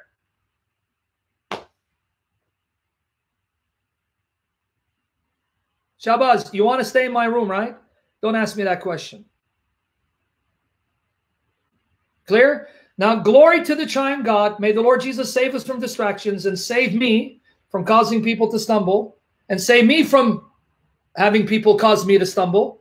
You're getting it so far? Making sense? What Hebrews 1 5 is all about? What Hebrews 1 5 is all about? Let me answer the other question that's related. Yeah, but the passage says that Solomon's throne will be forever and his kingdom will be established forever. How can that be about Solomon? Well, it is about Solomon, but what's the answer? Because Sword of Truth brought that up. Here's the answer again. First Chronicles 28, 6 to 7. Here's the answer again. First Chronicles 20. Guys, let me encourage you. By the power of the Holy Spirit, it's not enough to read. You have to read with understanding from the Spirit and read slowly and simmer over the words because it's right there. He gives you the answer there. Notice Solomon's throne would be forever if it's conditional. Here it is, verse 7. Moreover, I will establish his kingdom forever if, if, let me say it again, if he is steadfast to observe my commandments and my judgments as it is in this day. If, folks, you need to stop reading the Bible on a shallow level. It's right there in front of you. Say, Holy Spirit, open my, my eyes more and more. Speak to me to understand. It's right there. It, it told you in the text, not me. The word said his throne would be forever if he maintains obedience to my commands. Guess what? Solomon dropped the ball. It? It's right there. Folks, you underestimate the power, the beauty, the depth, the majesty of the Bible. You do. You do not realize how deep, how amazing, glorious, majestic the Bible is because the Bible is the word of the glorious, majestic God. Exactly, Ariel. Every jot and tittle.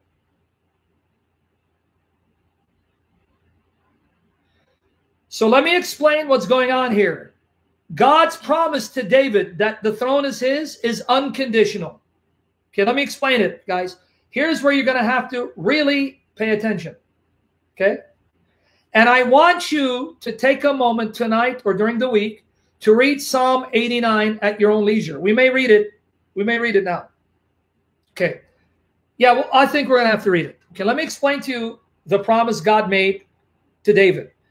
God says, David, out of my love for you, out of my grace and compassion for you, I'm going to give you my earthly throne as your everlasting possession. You will have an everlasting dynasty. Okay? This throne I give to you unconditionally. It is yours and in your line forever. However, those who come after you will only sit on your throne conditionally. And here's the condition they have to obey me. If not, I'll reject them and raise up another one of your sons to sit on the throne. You understand now?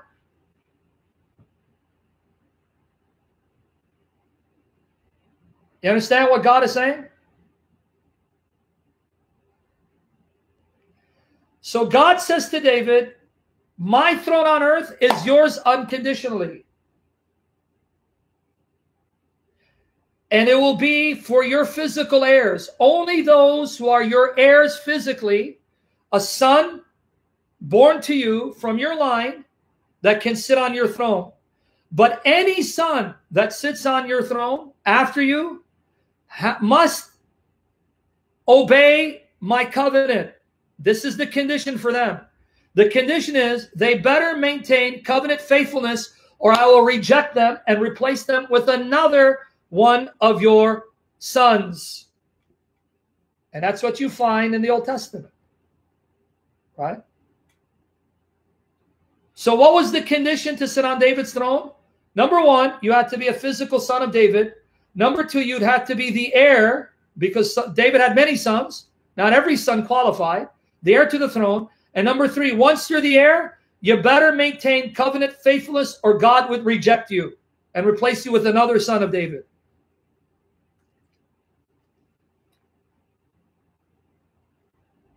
You got it, Sword of Truth. Now you see how Jesus fulfills it. Because he's the only sinless, perfect, faultless son of David who can never be disqualified from sitting on the throne.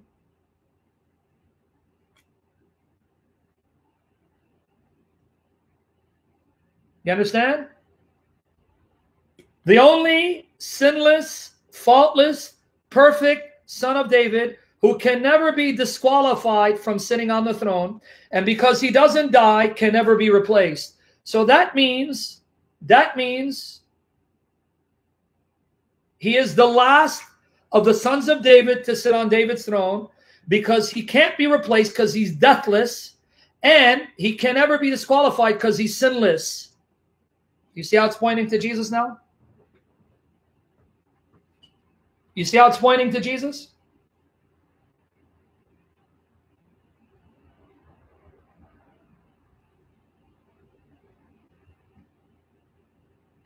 It's all pointing to Jesus, right?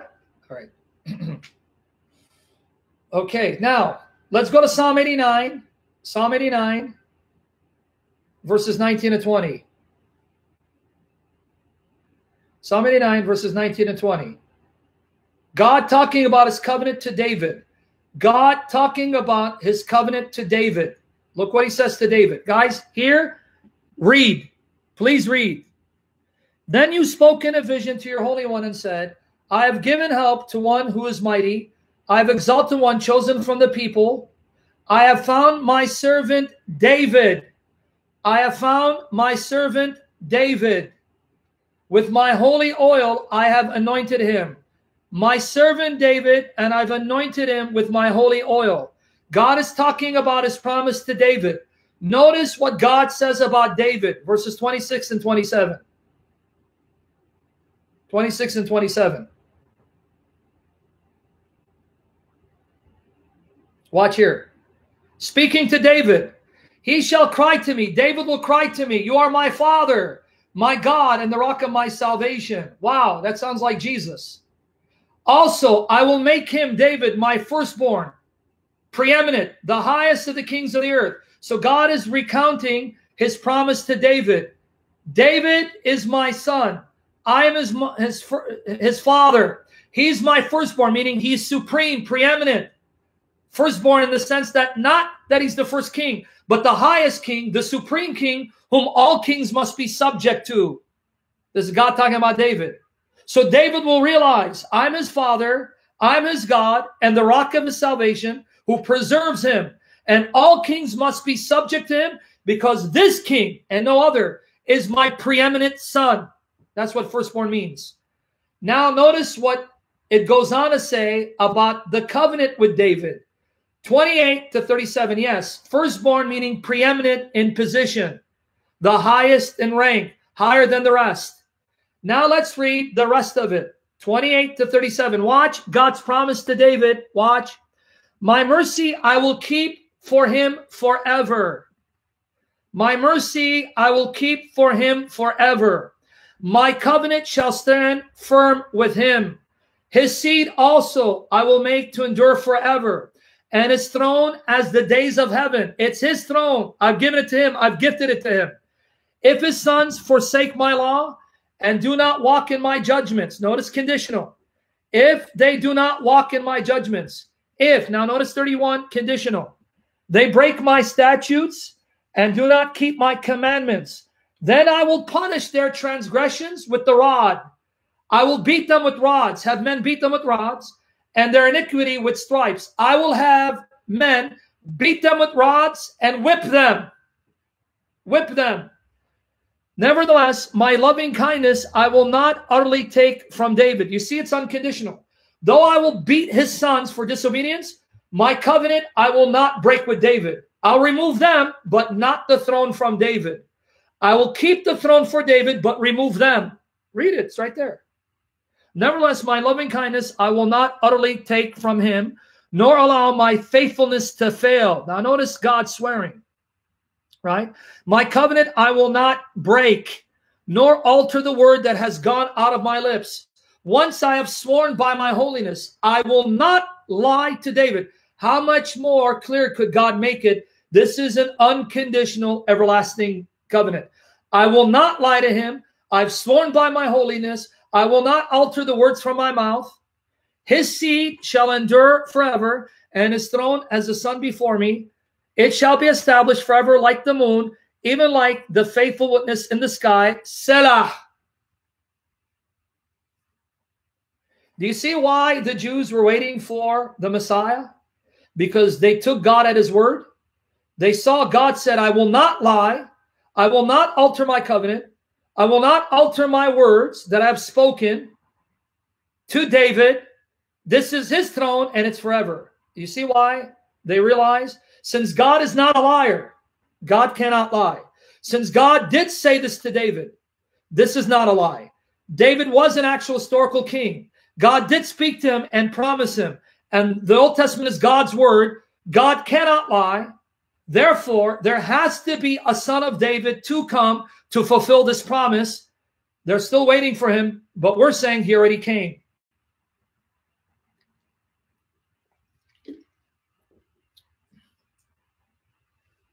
Did you catch it now? Now, here's where it gets exciting. Here's where it gets exciting. God said, when his sons break my covenant, and he said this about Solomon, he said this about Solomon, I will beat him with the rods of men and the floggings of men. Guys, check me out on this. Prove me wrong. If you can find a single place in the Old Testament where Solomon or any of the sons of David were punished by by men beating them with rods or floggings for breaking God's covenant, I will retire from teaching. And I will let Protestant teach and I'll post verses for him. You know why? Because that punishment was taken by Jesus. Why do you think Jesus got beat with the rods of men and the floggings of men? Because he was taking the punishment of the sons of David in his own person on their behalf. Jesus got beat with rods. Jesus got flogged by men. The punishment that the sons of David were to experience for breaking the covenant, Jesus experienced because he died in their place and took their punishment on their behalf.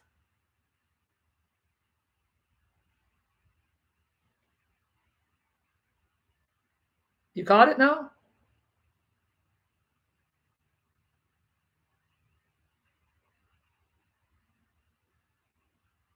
Okay, now with that said, with that said, follow with me because five o'clock, which is right now my time, 404, within 55 minutes, God willing, I go live with Al Fadi on CIRA International on Facebook.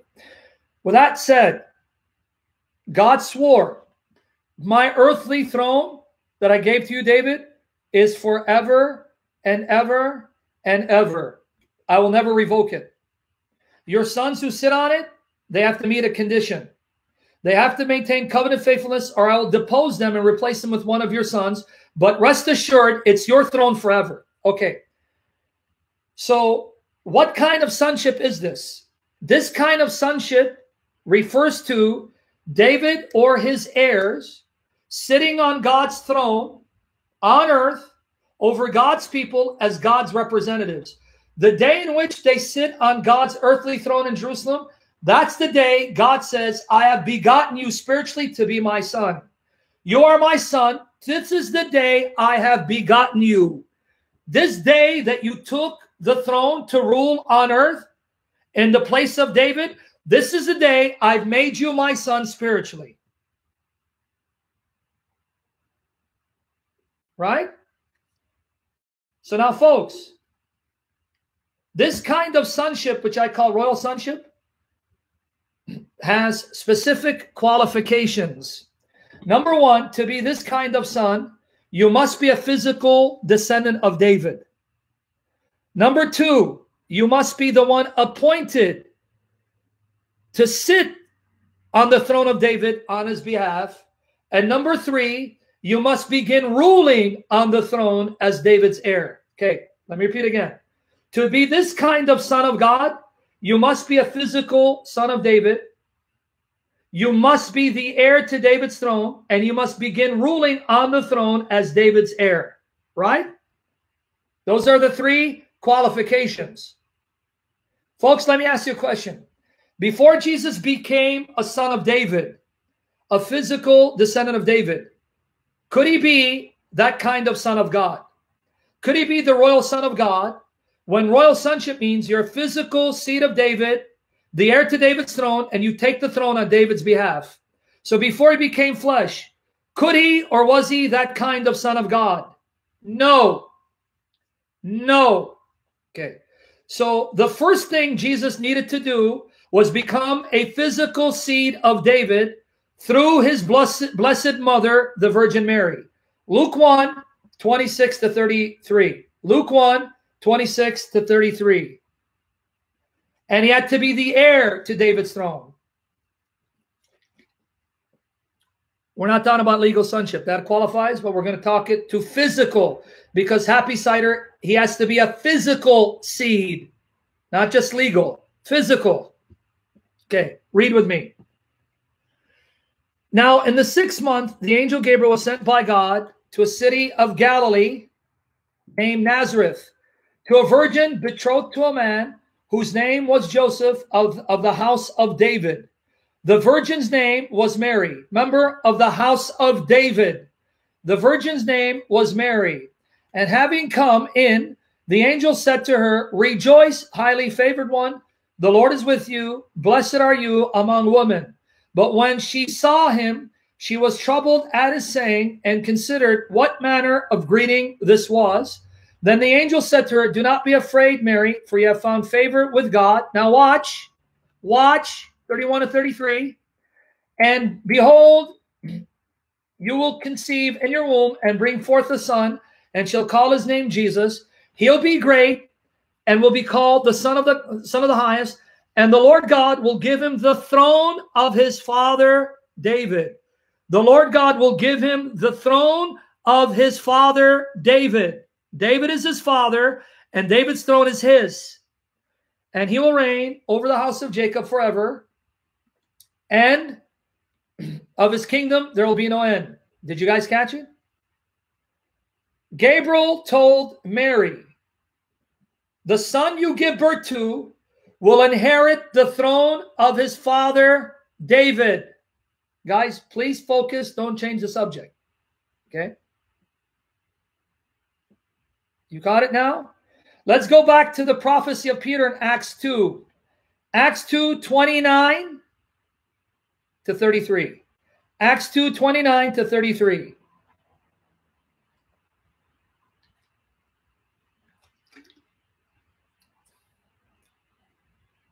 Acts 2 29 to 33.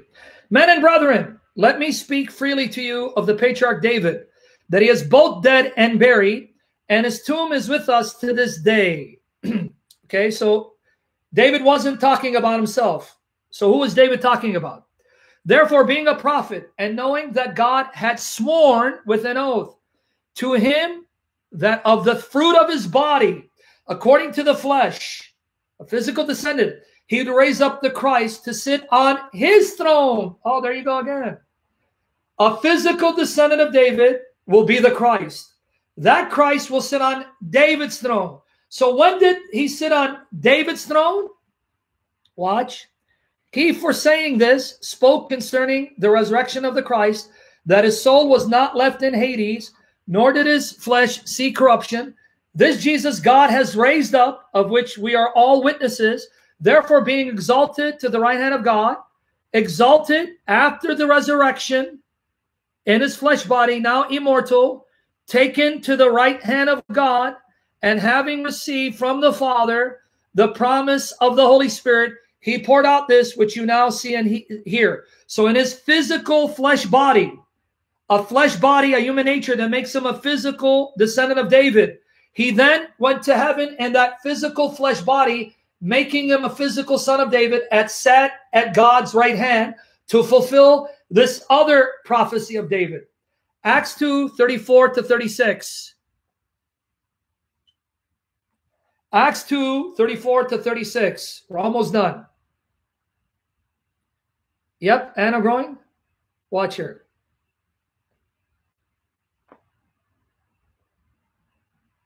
For David did not ascend into the heavens. Notice, for David did not ascend into heavens, but he says himself, the Lord said to my Lord, Sit at my right hand till I make your enemies your footstool. So David not only saw the physical resurrection of his physical descendant, the Christ, he also saw and wrote by the Spirit concerning the physical ascension of the Christ's Son, who is his Lord, into heaven to sit on God's throne at his right hand.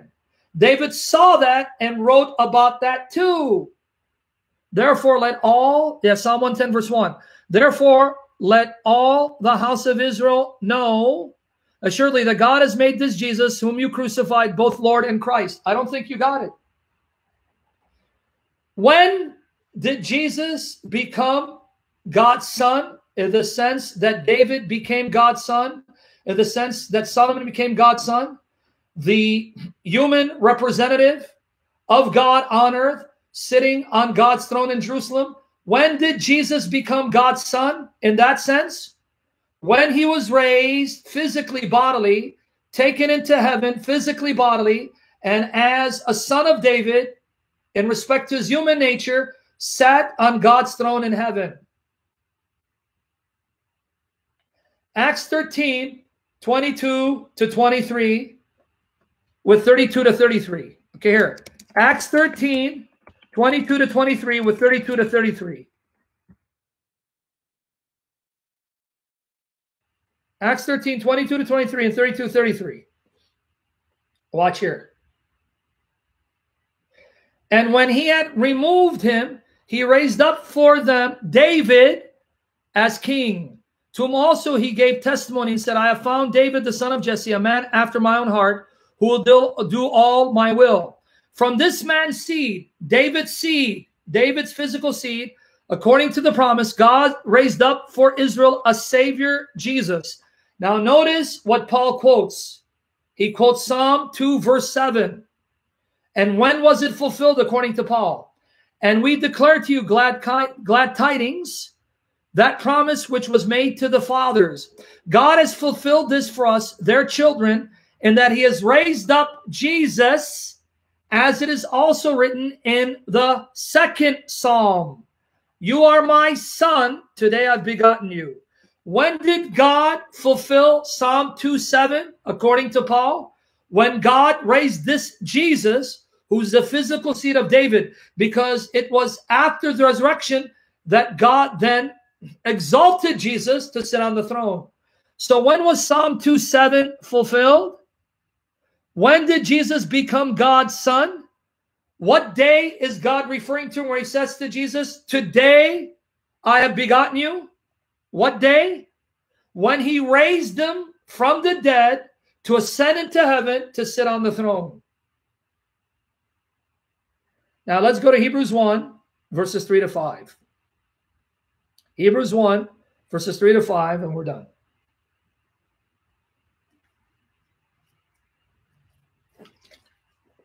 Hebrews 1, verses 3 to 5. Who being the brightness of his glory and the express image of his person, upholding all things by the word of his power, when he had by himself purged our sins, notice after he purged our sins by his death on the cross, resurrection, sat down at the right hand of the majesty on high. It's when he sat down at the right hand of the majesty on high, he became superior and better than the angels, because he was lower than them in position while he was on earth, because he was on earth in the position of a slave, now exalted to be higher than them in position. He has by inheritance obtained a more excellent name than they. And here is the fulfillment. For to which of the angels did God ever say, You are my son, today I've begotten you, and again, I will be a father to him, and he'll be a son to me. So do you see how they all agree? Do you see how they all agree? Psalm 2, verse 7, and First Chronicles 17, 13 were fulfilled when Jesus was raised on the third day in his physical body, in his glorified human nature, a human nature that makes him a physical son of David, and then in that physical body ascended to heaven to sit on the throne at God's right hand. When he sat, then God says, Today, Jesus, you have been begotten to be my son. Yeah, if Jesus saves distracting you, get him out of here. Get him out of here. He's being used of the devil like a little demon. It's a shame he's using such a beautiful name. You guys caught it?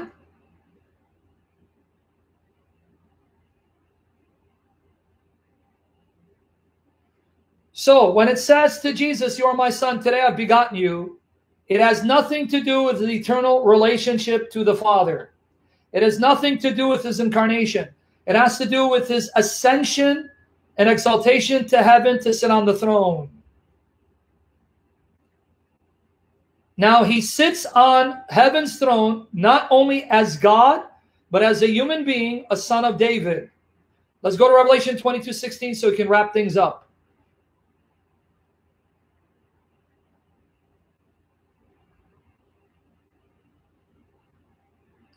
Revelation 22 16 to wrap things up. I, Jesus, have sent my angel to testify to you these things in the churches. I am the root and the offspring of David. So, right now, as I sit on my father's throne, I am still the offspring of David, the bright and morning star. So, do you guys know how to answer Hebrews 1 5? It has nothing to do with Jesus' eternal relationship to the Father as the Son. It has nothing to do with Jesus' incarnation. Today I have begotten you to be your father has everything to do with him being the son of David, the heir to David's throne, taking the throne on David's behalf, and at his enthronement, becoming God's son in that sense in which David and Solomon became God's sons, his human representatives, his human rulers sitting on the throne to represent him and resemble his rule on the throne.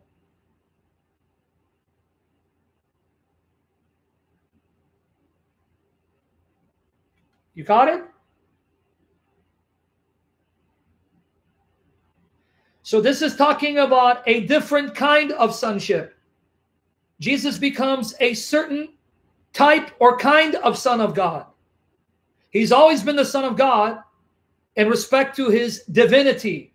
As God, he's been God's eternally begotten son, right? But this is talking about a different kind of sonship, right?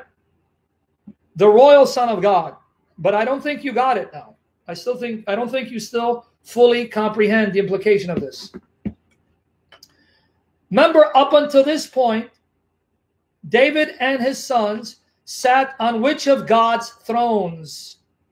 There are two thrones during the time that God made this promise to David and his descendants God's throne in heaven, God's throne on earth.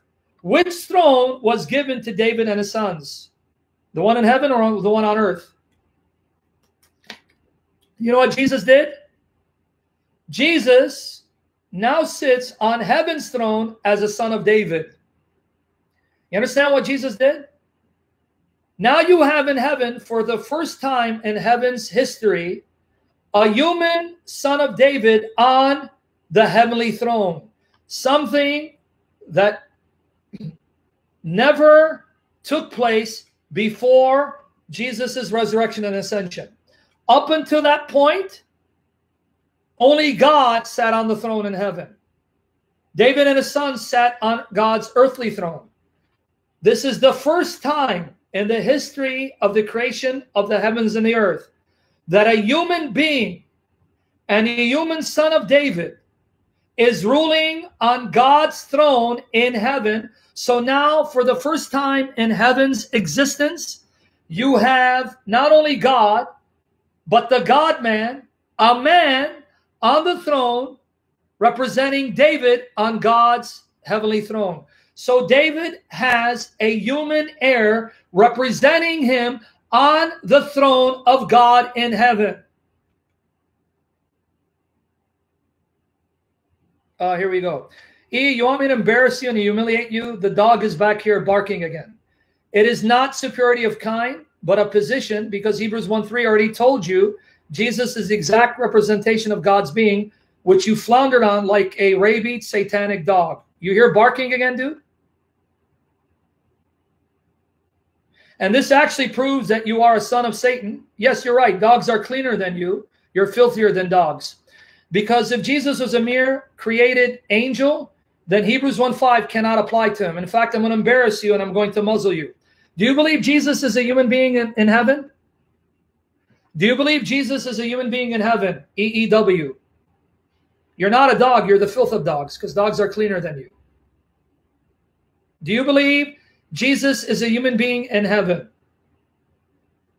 No, he's not. You see what a filthy dog he is?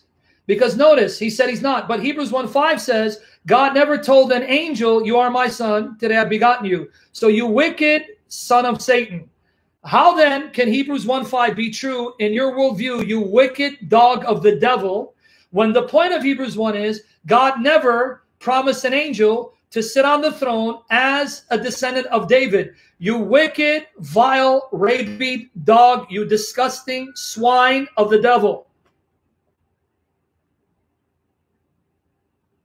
Okay. Now send him back to his father so he can continue to be spiritually manhandled by his father. You wicked, filthy hound of the devil. You swine. It's an insult to pigs and dogs to even mention you in the same breath. You see what they do to the scriptures, guys?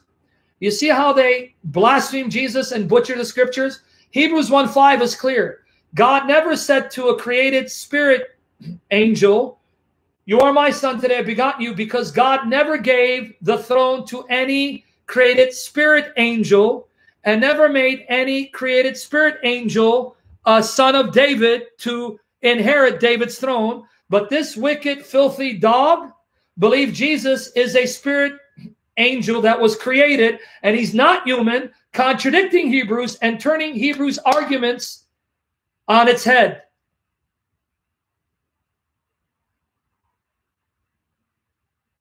Right?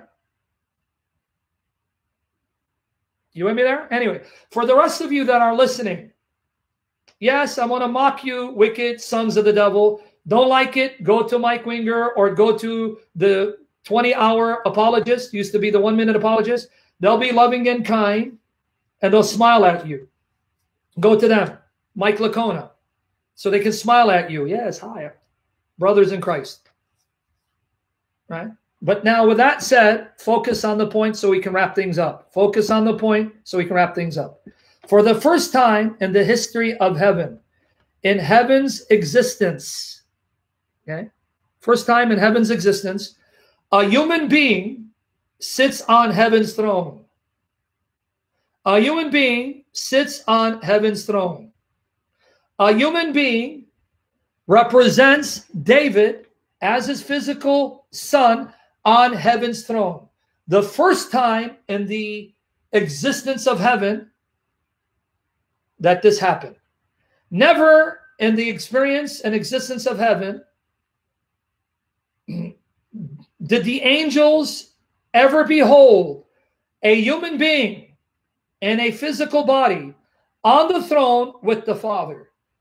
When Jesus died and rose again, he entered heaven not just as God who sits on the throne, but as the glorified, exalted human son of David sitting on the throne. And by virtue of being the God man, as God, the throne is his, But as man, he has now dignified humanity by exalting humanity in such a way that you have a human now worthy enough to sit on the throne in heaven with the Father.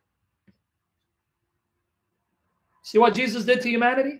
You see the honor that Jesus confers on humanity and on David because he made humanity worthy. He exalted humanity, glorified humanity to be worthy enough to now reign with the Father on heaven's throne. That's Ephesians 2, verse 6. Ephesians 2, verse 6. Ivo, Ivo, if I have to explain that to you, you're never coming back to my channel. Ivo, do you want me to explain it to you? Because I don't want you back in my channel when I do. That Jesus is the angel of the Lord, but he never said to any angel, You are my son. If I explain it to you, you'll never come back to my channel. Agree? Ivo? We agree? Because I'm going to explain it, but I don't want you to come back. Can we agree on that? Because you didn't listen. God never said to a created spirit angel. The angel of the Lord is not a creature. He's an eternal divine person who functions as a messenger because that's what the word angel means. Hebrews 1 is talking about created spirit angels, created spirit messengers. Now, Ivo, you know you got to go now, right? Because if you've been paying attention to my sessions, listening to my sessions, not pretending to be listening, you would know the answer. Okay? For the rest of you paying attention, Ephesians 2, verse 6. Exactly. Who said he stops being human, Anthony? I began to talk. Go back and listen to the beginning. Folks, please let me exhort you, and also rebuke you. I just got done in the beginning of the session showing Jesus is a man in heaven and will remain man forever and ever and ever. Why is it hard for you guys to get it and ask me a question that I already addressed, not only in previous sessions, but in this session for Pleromic, who came back? Why is it hard for you guys to focus? Now, you see why I try to control the comment section? Because of the chaos in the comment section, your minds wander, you don't learn. If you don't learn, how are you going to know this if you're not learning this? And how are you going to teach it if you don't know it? What's the point of teaching them? Amen, Sword of Truth. I want to use be used of the Spirit to make you fall so in love with Jesus and know the word so perfectly no one can refute you, and you take everyone captive for Jesus.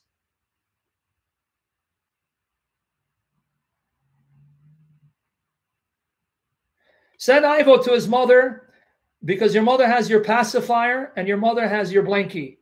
Don't come back. How do we know that your mother is human and she gave birth to a human as opposed to a dog?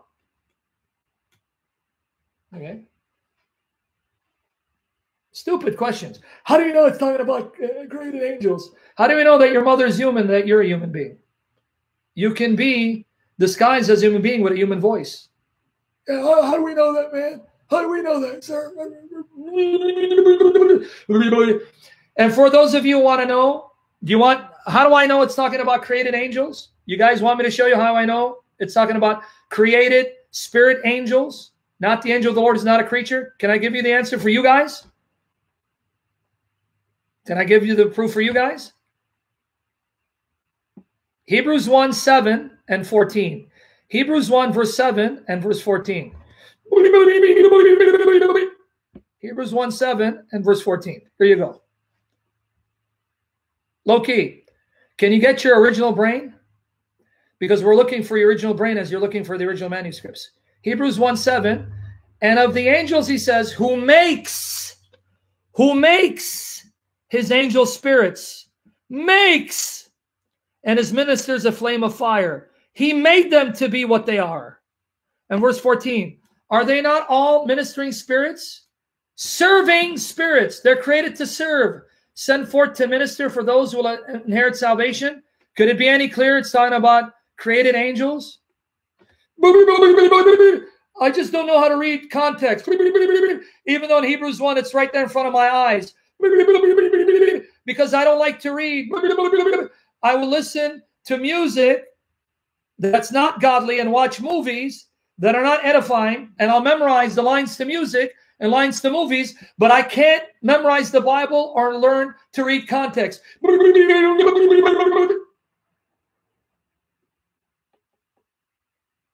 It's right there in Hebrews 1. Surprise, Mike Winger. Hebrews 1 7, one more time in case you didn't get it. In case it didn't sink in, Hebrews 1 7. In case it didn't sink in, in case it didn't sink in, Hebrews 1 7. One more time. Then we got to wrap it up. And of the angels he sends, he says, who makes his angel spirits and his ministers a flame of fire. So they are ministers who are made to minister and to take on various forms and shapes. Are they not all ministering spirits? Spirits sent to serve. And they serve who? Sent forth to minister for those who will inherit salvation. How do I know? How do I know these are created angels? Duh, duh, duh, duh, duh, duh, Bullish, bullish, bullish, brother, bullish. For the rest of you, though it was heated, and though we got distracted a lot by Satan and his children, where do you want me to go, Louisa? Louisa, where, where do you want me to go?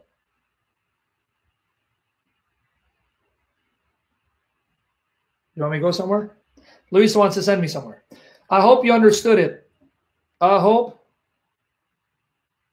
Okay, but Louisa, I'm, all, I'm done. I did it already, Louisa. I'm finished. That's why I'm winding down. Louisa, I, I covered everything. So I'm winding down and showing how people are, hey, Sam, I'm the Rain Man, Sam. My grandma and your grandma sitting on the fire. All right. I hope besides the distractions you learned, right? Hebrews 1 5. Here's the takeaway it has nothing to do with Christ's eternal relationship, it has nothing to do with Christ's incarnation.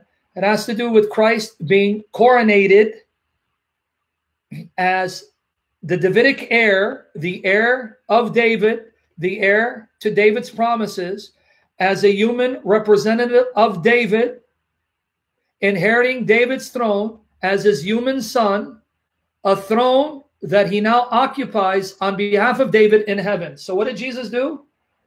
The earthly throne of God has given to David has now been taken to heaven because in heaven, for the first time in heaven's existence and creation, a man sits on the throne with the Father, a human being sits on the throne with the Father, a human son of David sits on the throne with the Father, thereby now elevating humanity and giving them the authority to now reign with the Father in heaven. And that's Ephesians 2, verse 6. Ephesians 2, verse 6. Read that there. Ephesians 2, verse 6. Ephesians 2, verse 6.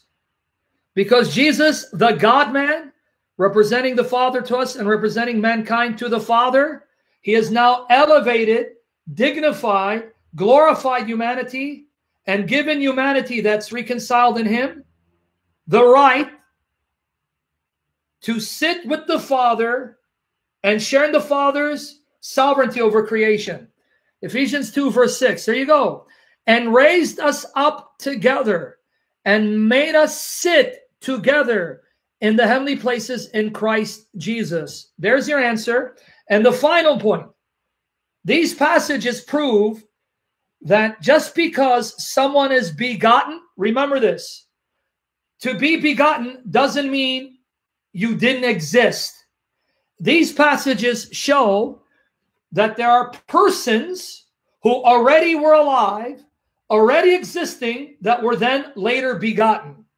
David was already alive when God begat him to be his son on the throne. Solomon was already alive and conscious and had existence and life before God begotten to sit on his throne. So these passages destroy the anti Trinitarian argument and lie that if you're begotten, then you don't always exist. To be begot means you didn't exist. According to who? These individuals already existed before they were begotten. So you don't beget something from non existence into existence, from non being into being, because these entities, these persons already had being, already had existence, already, already alive when they were begotten by God. Now you've destroyed and annihilated any and every major anti Trinitarian objection against the eternal existence and reality of Jesus the Son. It's over for you, Unitarians. You are sons and daughters of the devil. You are dogs and pigs of the devil, the filth of the devil, until and unless you repent and be washed in the blood of the Lamb, Jesus the God man. And until you do, that's what you are. And I will call you that a dog, a swine, a filth, and the vomit of the devil. Right?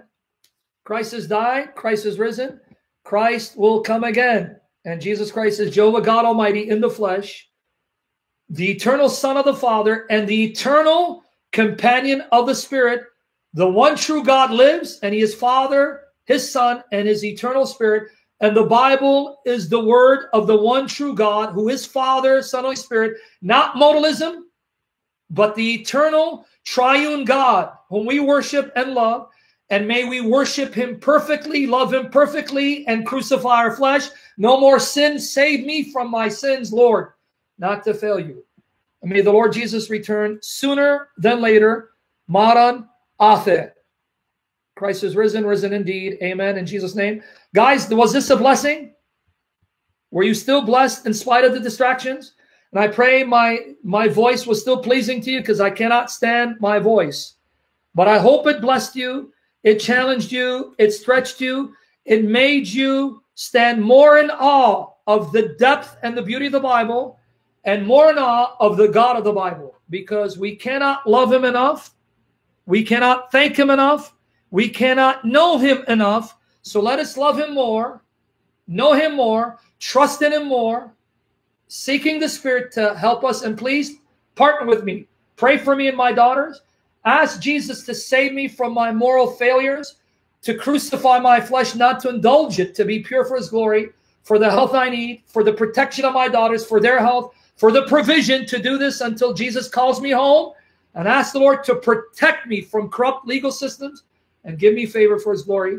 Christ is risen, risen indeed. Lord willing, in 20 minutes, I go live again with Al Fadi on CIRA, C I R A International. He's going to be live streaming it on YouTube and Facebook in 20 minutes, Lord Jesus willing. We love you, Son of God. Give us the power to love you perfectly and not to be hypocrites. Save me from my hypocrisy and my flesh. Bless them, Lord Jesus. Bless them and use me to bless them and love them and not be a stumbling block to them. Please, Lord Jesus. we love you. In Jesus' name. And pray for my health so that my voice never gives out, so I can use it to glorify Christ till I die. Take care. Christ is risen, risen indeed.